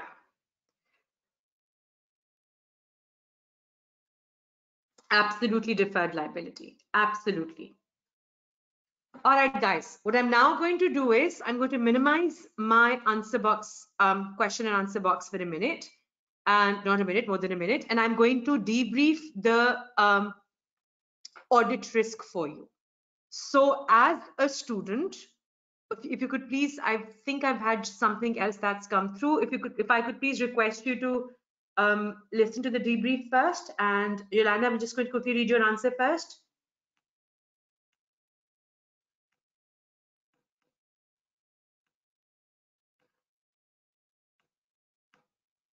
Yolanda, perfect wording, perfect wording regarding IAS 37. Okay, so you'll only get two out of two for your um, new client if you cover lack of knowledge leading to high detection risk plus opening balances being misstated. In this question, you could also get two in total if you talk about lack of industry experience as well.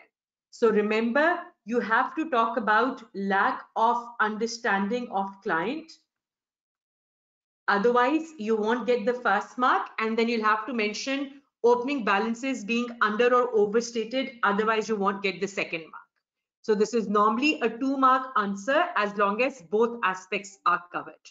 So out of 20, two marks for talking about this one. Control risk is always two marks as well. Please make sure you remember in terms of risk of material misstatement, you have to talk about chances of under overstatement because of this corporate governance weakness. This is indicating a weak control environment. Control risk is going to go up. Remember, ROM includes inherent risk and control risk. So we're talking about high control risk in this scenario, leading to a higher chance of fraud or error in the financial statements. So business risk is fraud and error in the company. ROM is fraud and error in the financial statements, which are made at the end of the year. So 4 out of 20, I can comfortably get in the first two, three minutes of writing down the answer because I've done my revision kit and I know these are the answers that I can easily write every single time. Then comes my actual accounting part. Now, in terms of the format that we spoke about, you have marks for commenting on materiality of 20 million. You get marks for saying uh, talk about IAS20, that you have to defer it and release it to the PNL in line when the expenses are occurred, incurred, sorry. The risk is it is not deferred and therefore liability is understated, profit is overstated. If you read your standard answers in the revision kit, you will see that she always talks about repayment if you're not using it specifically for the purpose that it was given, you will have to repay it, which could lead to me needing to recognizing a provision as well. Please look at the fact that the, they have recognized half of the grant. So if I go to the profit figure, the current profit before tax figure, you'll have to identify the fact that if they recognize half of the grant, it from 6.5, it will go up to 16.5. This is another example of manipulation. They are planning on recognizing this half of this amount. And if they do so, this would probably be, they would probably be doing it because they want to manipulate the financial statements. There is no risk of material misstatement related to gold standard. If you've made it, then that's the wrong answer. For the legal case, easy one mark for your materiality. Please make sure you explain IAS 37 properly. I see some of you are messing it up in a hurry. Present obligation, past event, probable outflow, expense can be measured is a provision. Possible outflow is the contingent liability disclosure. Risk is one of these has not been done. Once again, this is three times the amount of PBT. So if this expense needs to be booked, it's going to be material by nature as well. The 70.5 million gets a star because no one was able to give me the right answer. Not even a single student was able to give me this answer. The reduction in the fair value is material to the to total assets. It's super pervasive to PBT because it would convert a profit into a loss. The risk is that they might not recognize all of the 70.5 million. The risk is that the expert who did the calculation might not be competent or independent. There is the risk that other assets could be impaired because of the storm and they have not done an impairment review.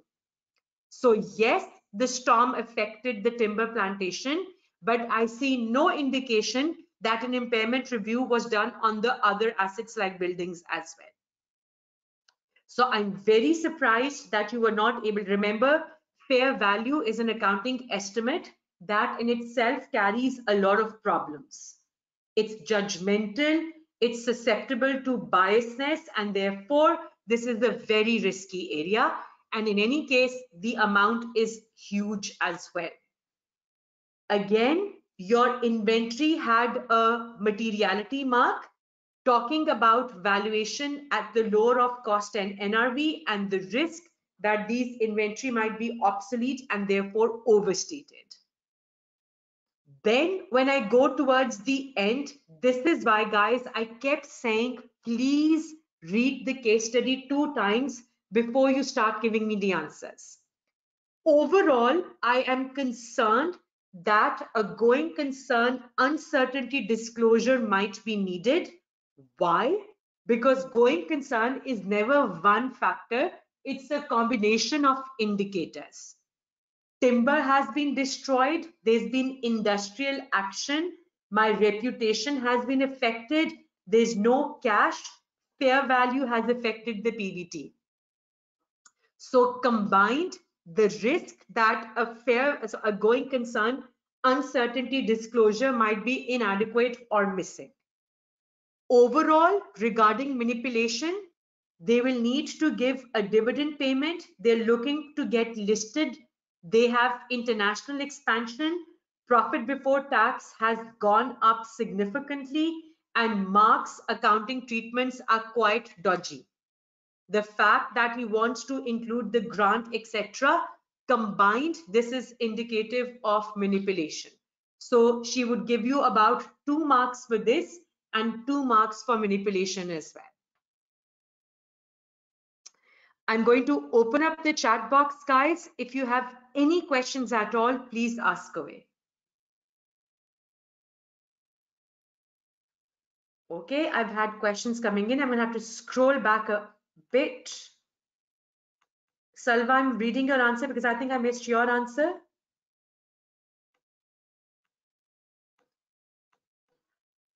Okay, Salva, um, I'll give you that marks that the evaluate the recording of the loss has been not been done completely. Amir, Amir, at the risk risk stage, we only talk about the fact that he might not be independent or competent. Then at the procedure stage, we will have to evaluate his independence and competence. So at this stage, I'm only writing maybe this person did not do the valuation correctly.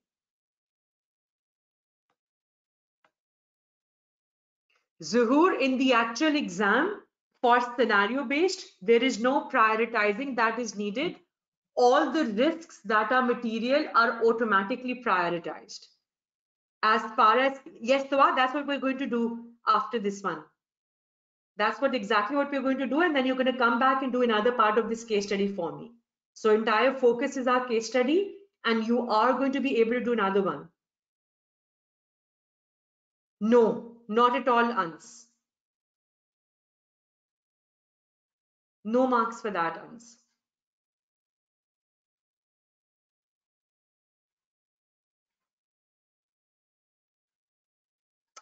All right, guys, we're going to take a five minute break. And then when you come back, we're going to do another, you are going to do another part of this case study for me. And um, then that would really be it. Yep, overall marks, two marks. Two marks for overall um, talking about manipulation. Afan, I don't think you should replicate the revision kit wording. That would be slightly difficult. But yes, the stages should be the same. So now when you go back and read the revision kit answers, you would see the steps are the same. Materiality, accounting treatment, risk, and under overstatement but I think the revision kit answers us slightly longer. So I won't want you to do exactly that. No, that's tomorrow, Amir. That's the agenda. That's on the agenda for tomorrow. Guys, I have another question before we go on a break. Um, Obed, if you could please help us. Um, how are the recordings going to be available? Yep, Maz. Yep, that's it. So in this question, manipulation um, indications are there. So they're recording something else in order to hide the actual situation.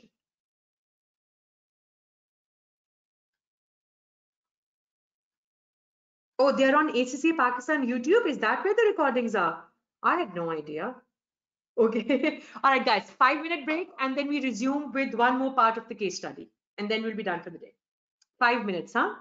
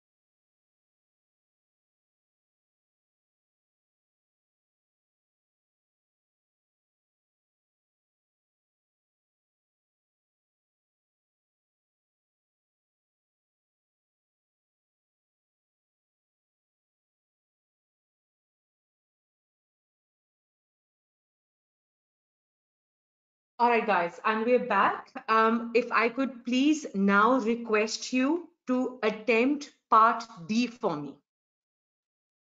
I'm going to share my screen again this time around, and I'm not helping you at all.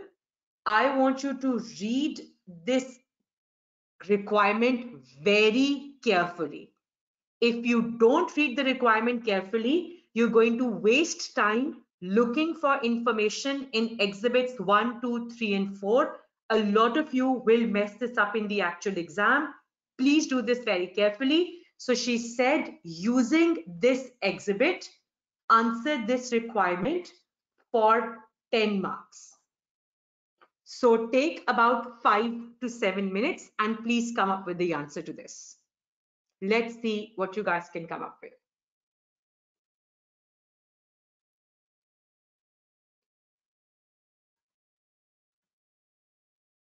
So remember when she uses the word ethical issues, she's giving you a hint that there are problems from the code of ethics as well. So explain the ethical issues and other audit planning implications which arise in relation to the phone call from the CFO Mark.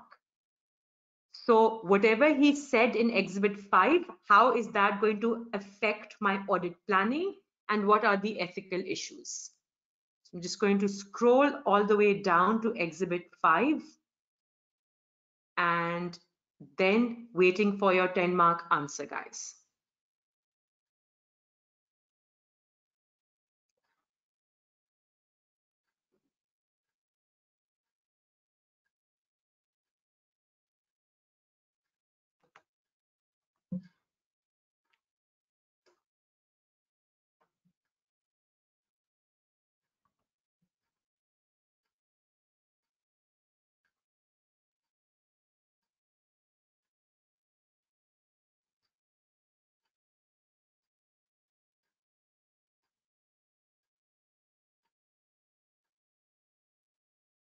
After we finish this debrief, I'll talk about um, the changes in your ISA 315 through the technical article. So Zuhur, I'll talk about prioritizing risk theoretically, but as far as the um, risk scenario base is concerned, there's no difference. So don't buy too much about um, prioritizing risk in the scenario based context. That automatically is done when you talk about material risks only. So you prioritize when you talk about material risks.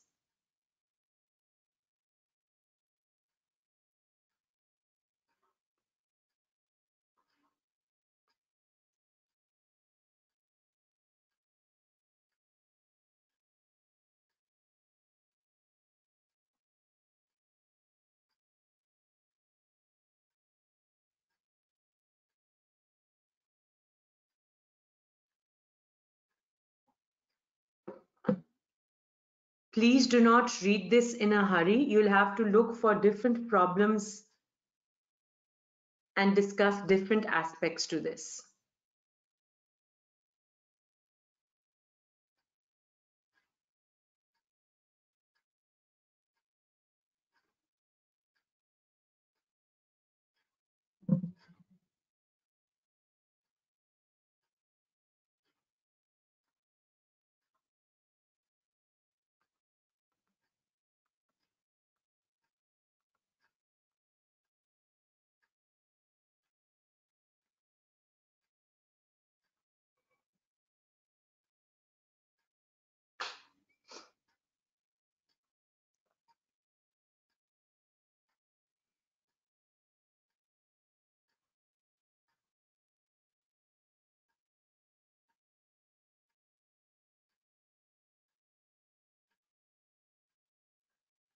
Okay, I've had some answers that, that have come through. Very well done, Dua. Perfect. So self-interest related to linking audit fee. And what does the code say about this, Dua? Can you do that for audit?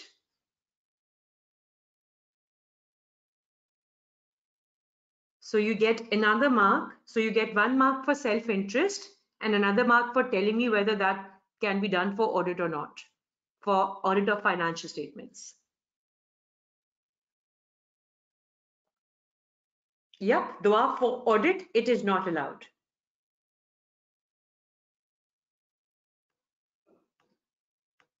Ahmed, contingent fee for audit is not allowed. For non-assurance and other assurance services, it's allowed, but you shouldn't really do it. Remember, it is mainly for external audit that it is strictly, strictly prohibited.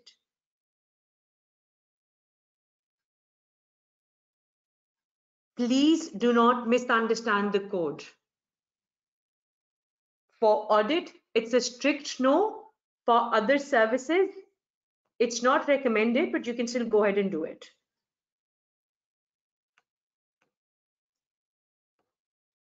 Okay, Abdullah, I'm reading your answer. Very well done, Abdullah. Good wording.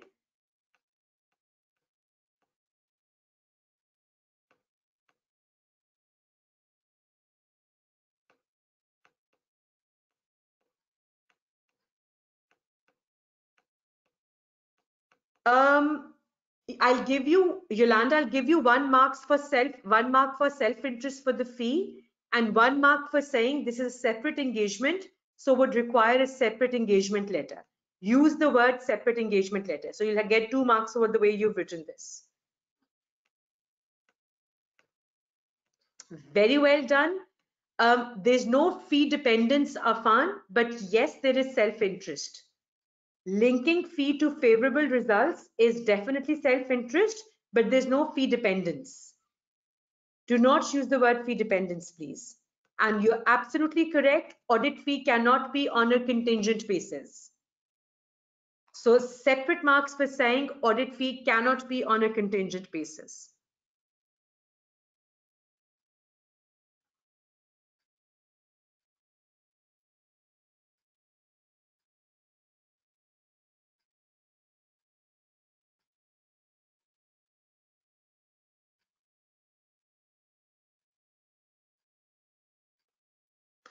So I've gotten a one, okay, I'll just summarize.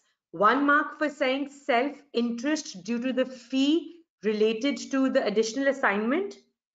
One mark for self-interest related to contingent fee. One mark for saying it's not allowed. Um, the contingent fee is not allowed for audit. I think, and one mark for saying you cannot tell the auditor uh, what to do. That's intimidation, and that really is not um, um, allowed or permitted.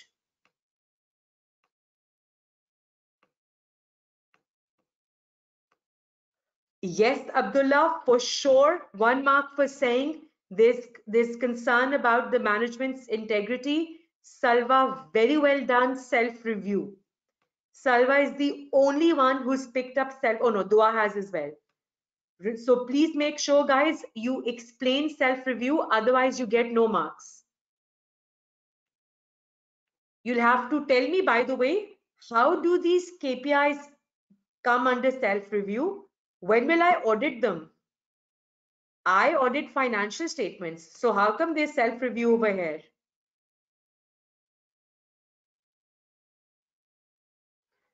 Mars, done. Your answer is correct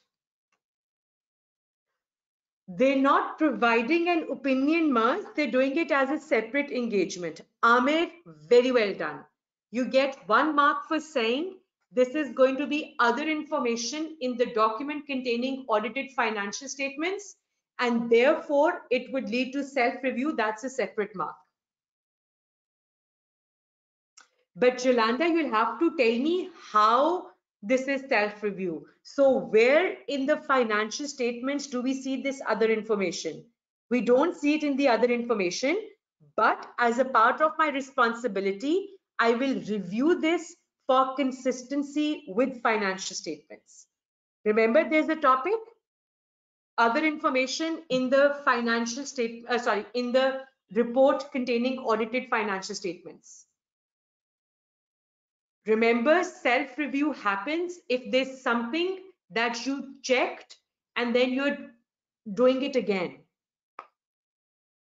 So you'll have to explain what the link to external audit is.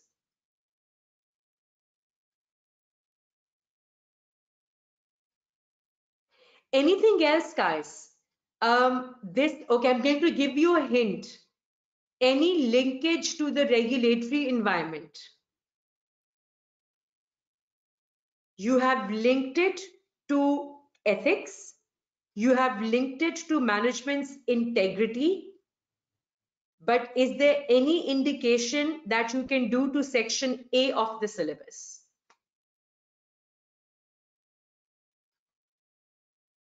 I'm giving you a hint over here, guys. Let's see if you can come up with the answer.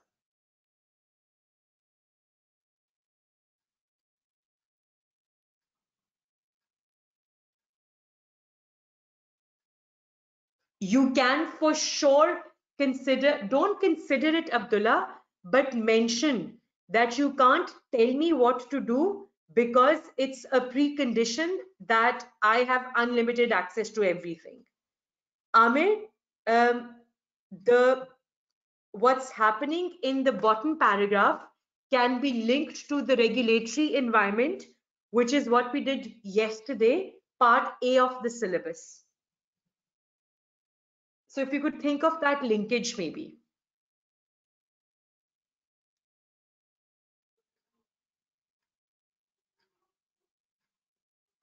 Going to wait another two, three minutes and then um, no, Salva, she won't give you those marks. No, there's no line marks. The entire paragraph, the one in green, which says audit implication.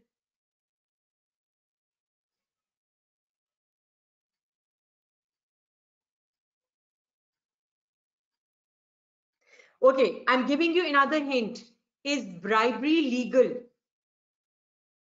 Is bribery legal? And if it's not, then which topic can you link this to? Laws and regulations, guys. Laws and regulations. Absolutely. So, Ahmed, you need to consider laws and regulations. You need to consider reporting this to external authorities as well. Right, guys, I want you to stop typing for a second and please have a look at my screen where I'm going to cover each element one by one. Absolutely, Yolanda. So indicative of poor integrity on marks and as well. So my first mark for saying auditor KPI is other information in the audit report, which the auditor has to review for material inconsistencies. Because of this, says there's a self-review threat. She said, I will also give you marks if you talk about advocacy and self-interest related to fee as well. You get one mark for saying that the code does allow you to give assurance on KPIs as long as safeguards can be implemented. One mark for saying separate team. Another mark for saying engagement quality control review, which is an independent partner review. One of you said this, you have to understand this is a separate assurance engagement with a separate engagement letter and the fee has to be separate as well. For audit, you cannot have a contingent fee. For other assurance work, it is allowed, but it is preferred if it is not done so. When you look at my code from yesterday, it is clearly mentioned over there. You get easy marks for saying before accepting this work, consider if you have the competence and the resources, then I'm changing the course of my answer. Remember, incentive payment is potentially illegal. As an auditor, it is my responsibility to understand the laws and regulations, and therefore I will need to perform procedures to confirm this breach.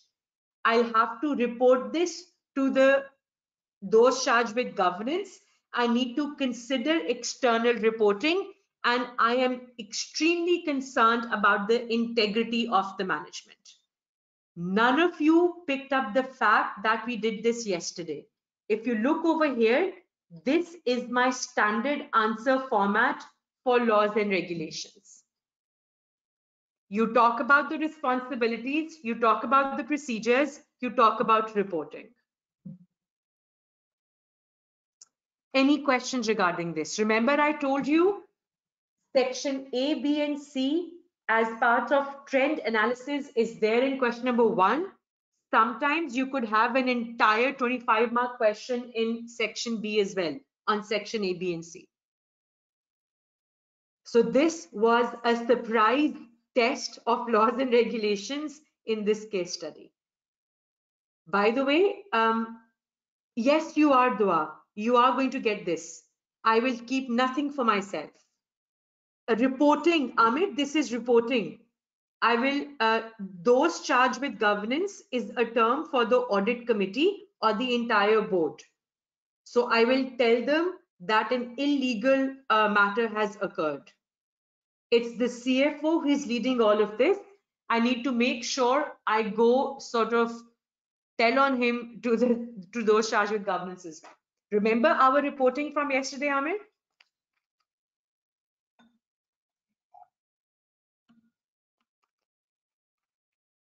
It doesn't matter. Even if it's a one dollar a bribe it's illegal.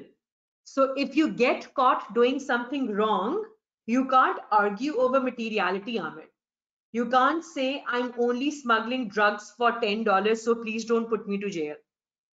Right? A breach is a breach regardless of the amount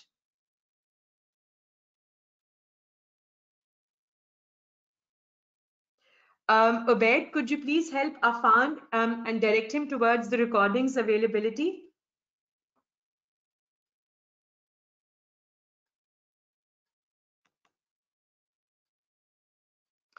All right, guys. So that sort of wraps up. Um, no, no, no. There's no specific answer format, Maz.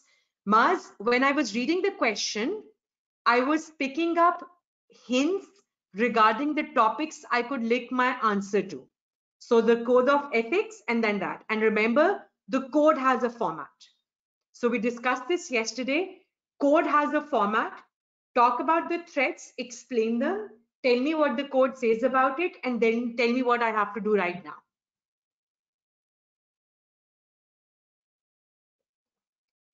And from yesterday, laws and regulations also has a format which is what we followed today as well. Right, guys, like I said earlier, don't worry about this. I'm going to be sending in the annotated answer files to you guys at the end of the session.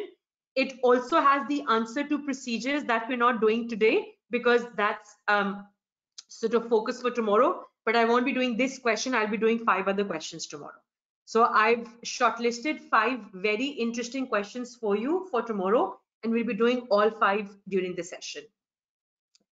The last thing that I want to do today is talk about the technical article. So like I said, this is not a current issue. This is a revision to an auditing standard.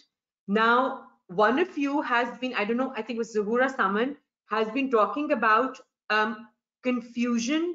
Okay, Maz, yes, in today's section, handout section, there's a file called answer file day one aggregated. That's the one from yesterday. Right, guys. So um, yeah, so you've been concerned about uh, what or how the technical article needs to be applied.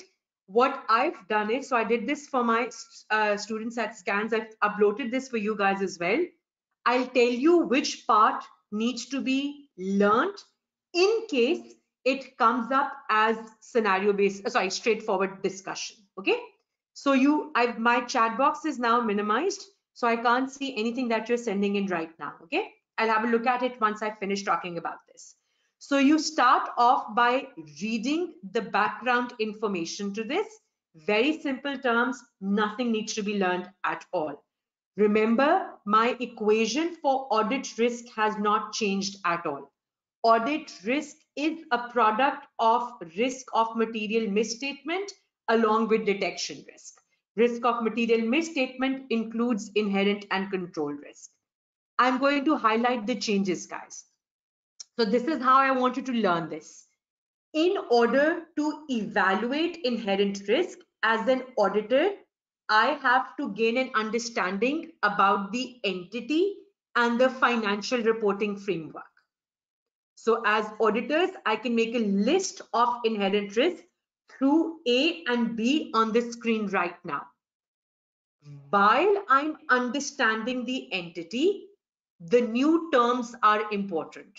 So the revised ISA talks about risk factors.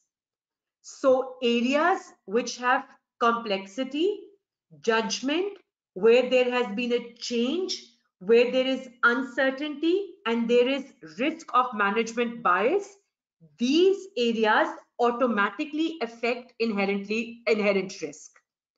So in SOFP and PNL items, you're going to look for these factors in each account balance and class of transaction.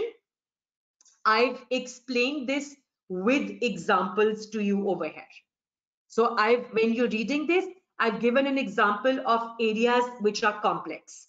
I've given an example of areas which include subjectivity. I've given an example of change and uncertainty and chances of fraud and error, manipulation.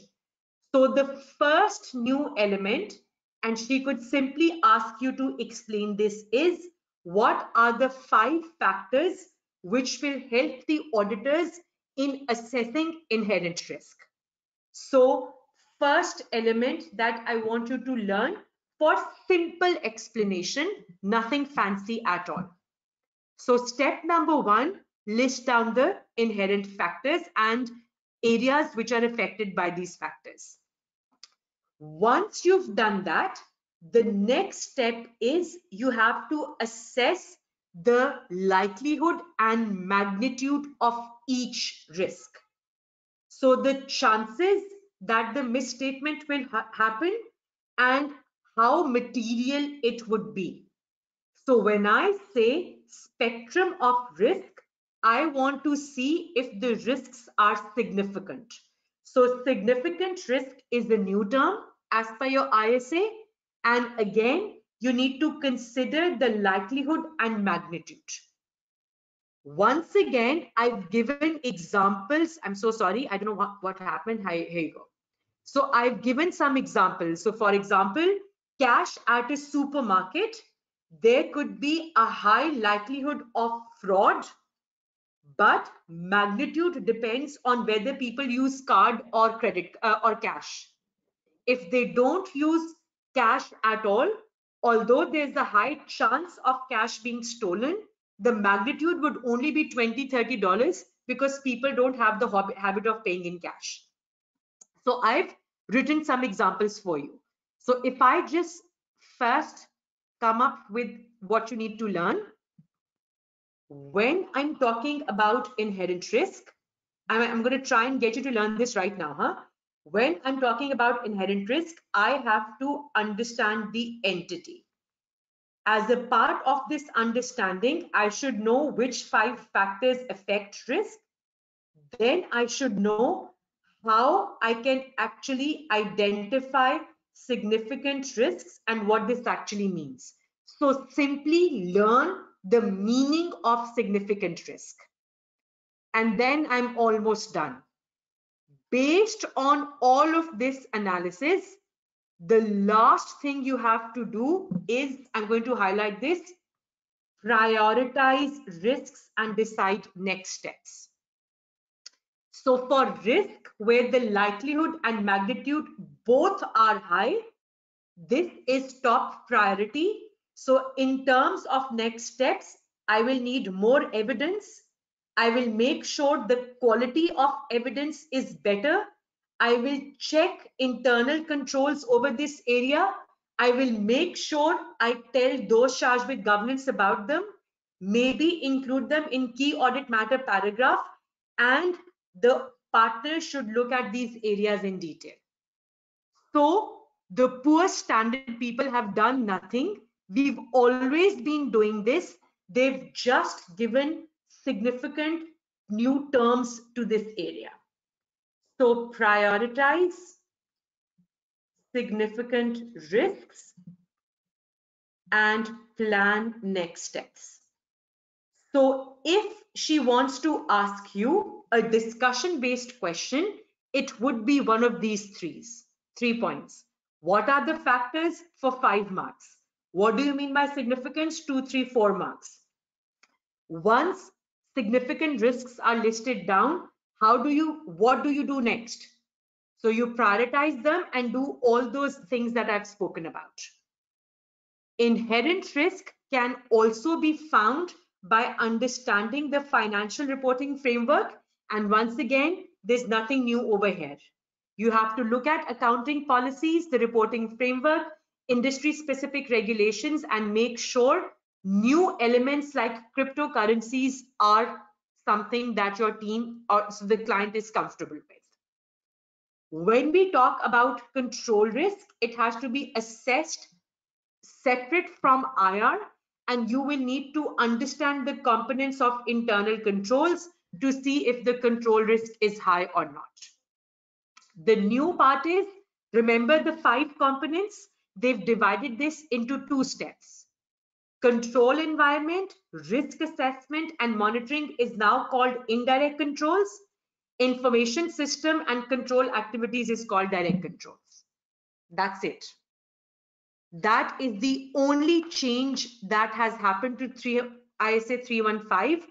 It's not at all difficult if you sit down for about 10 minutes at the most and go through this handout step by step, you should be easily able to understand what the uh, changes are.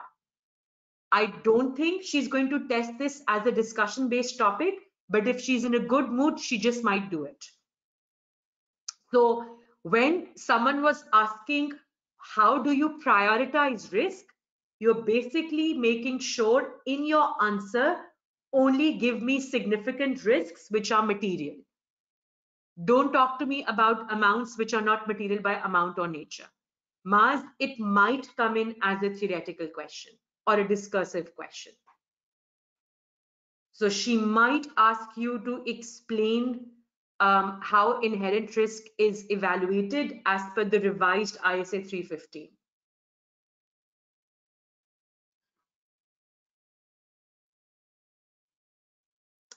I have nothing else planned for the day, guys.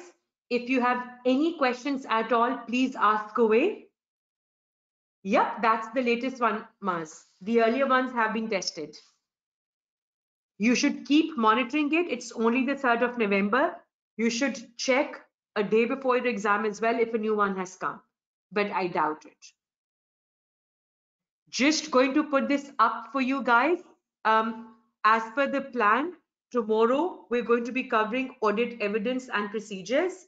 I'll talk about common requirements, answering techniques, and I have two short, sorry, five short questions that I'm going to do with you of different categories.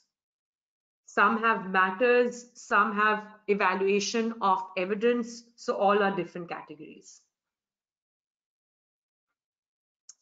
Any questions, guys? I have no idea, Afan. How many marks discursive questions can be asked? There is no trend. Honestly, there is no trend. Because I don't know about all the papers. Some of the papers are not published. I could give you a figure, but what if in the unpublished papers she's tested it for more marks? I wouldn't know. And then you come back to me and say, Faf, you said it would only come for eight marks, it came for 12 marks. So I'm restricting my professional liability. Okay, not that I want you to sue me, but I'm just saying I, I honestly don't know. On an average, I would say about six to eight marks.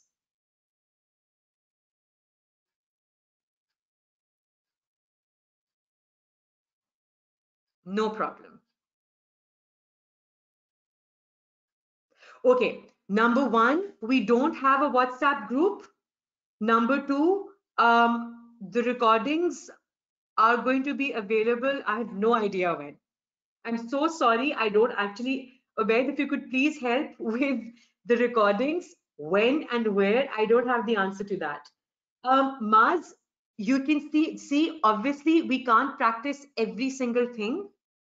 In terms of other assignments, I will only cover a few other assignments. So I have, I, I'm going to do a question on due diligence and maybe one on PFI as well and there'll be no recap of other assignments because there, there are too many. Or what we can do is on day four, no, on tomorrow, tomorrow I'll get you guys to vote. I'll put up um, uh, names of three, four other assignments and I'll ask you to pick up two so that we can focus on those in the webinar. So we'll do a, I, I think we can create a poll maybe sometime I think they might. I don't know how to do that, but I'll get you guys to choose.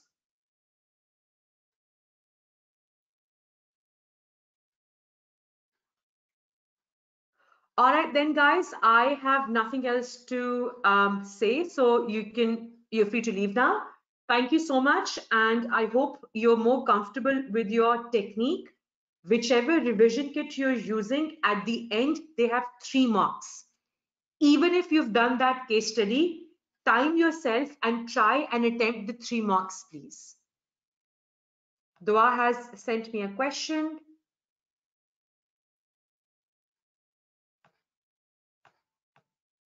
No, Dua, I've not heard any such thing. Thank you so much, Noor. Activity or something? Three marks? Which three marks are you talking about, um, Mars?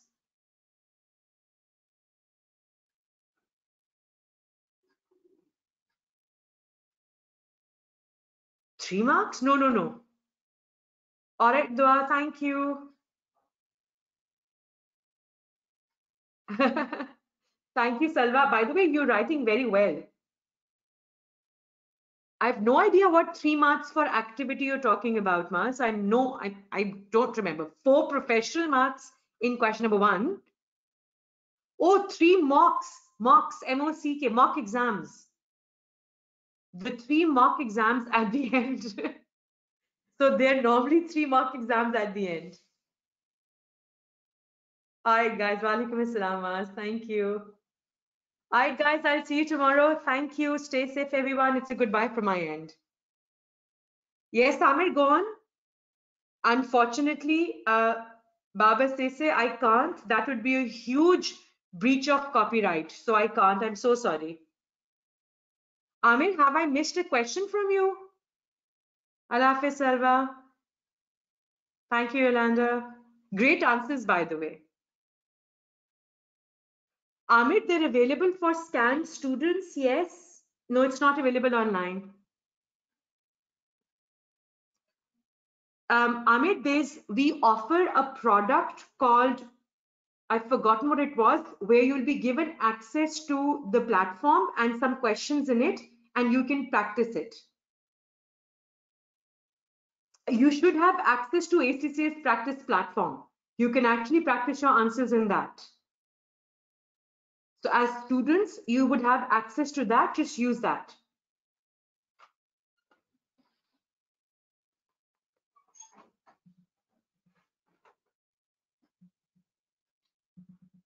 Yep, I think something like that. All right, guys, thank you so much. I'll see you tomorrow then. Thank you. Goodbye, everyone.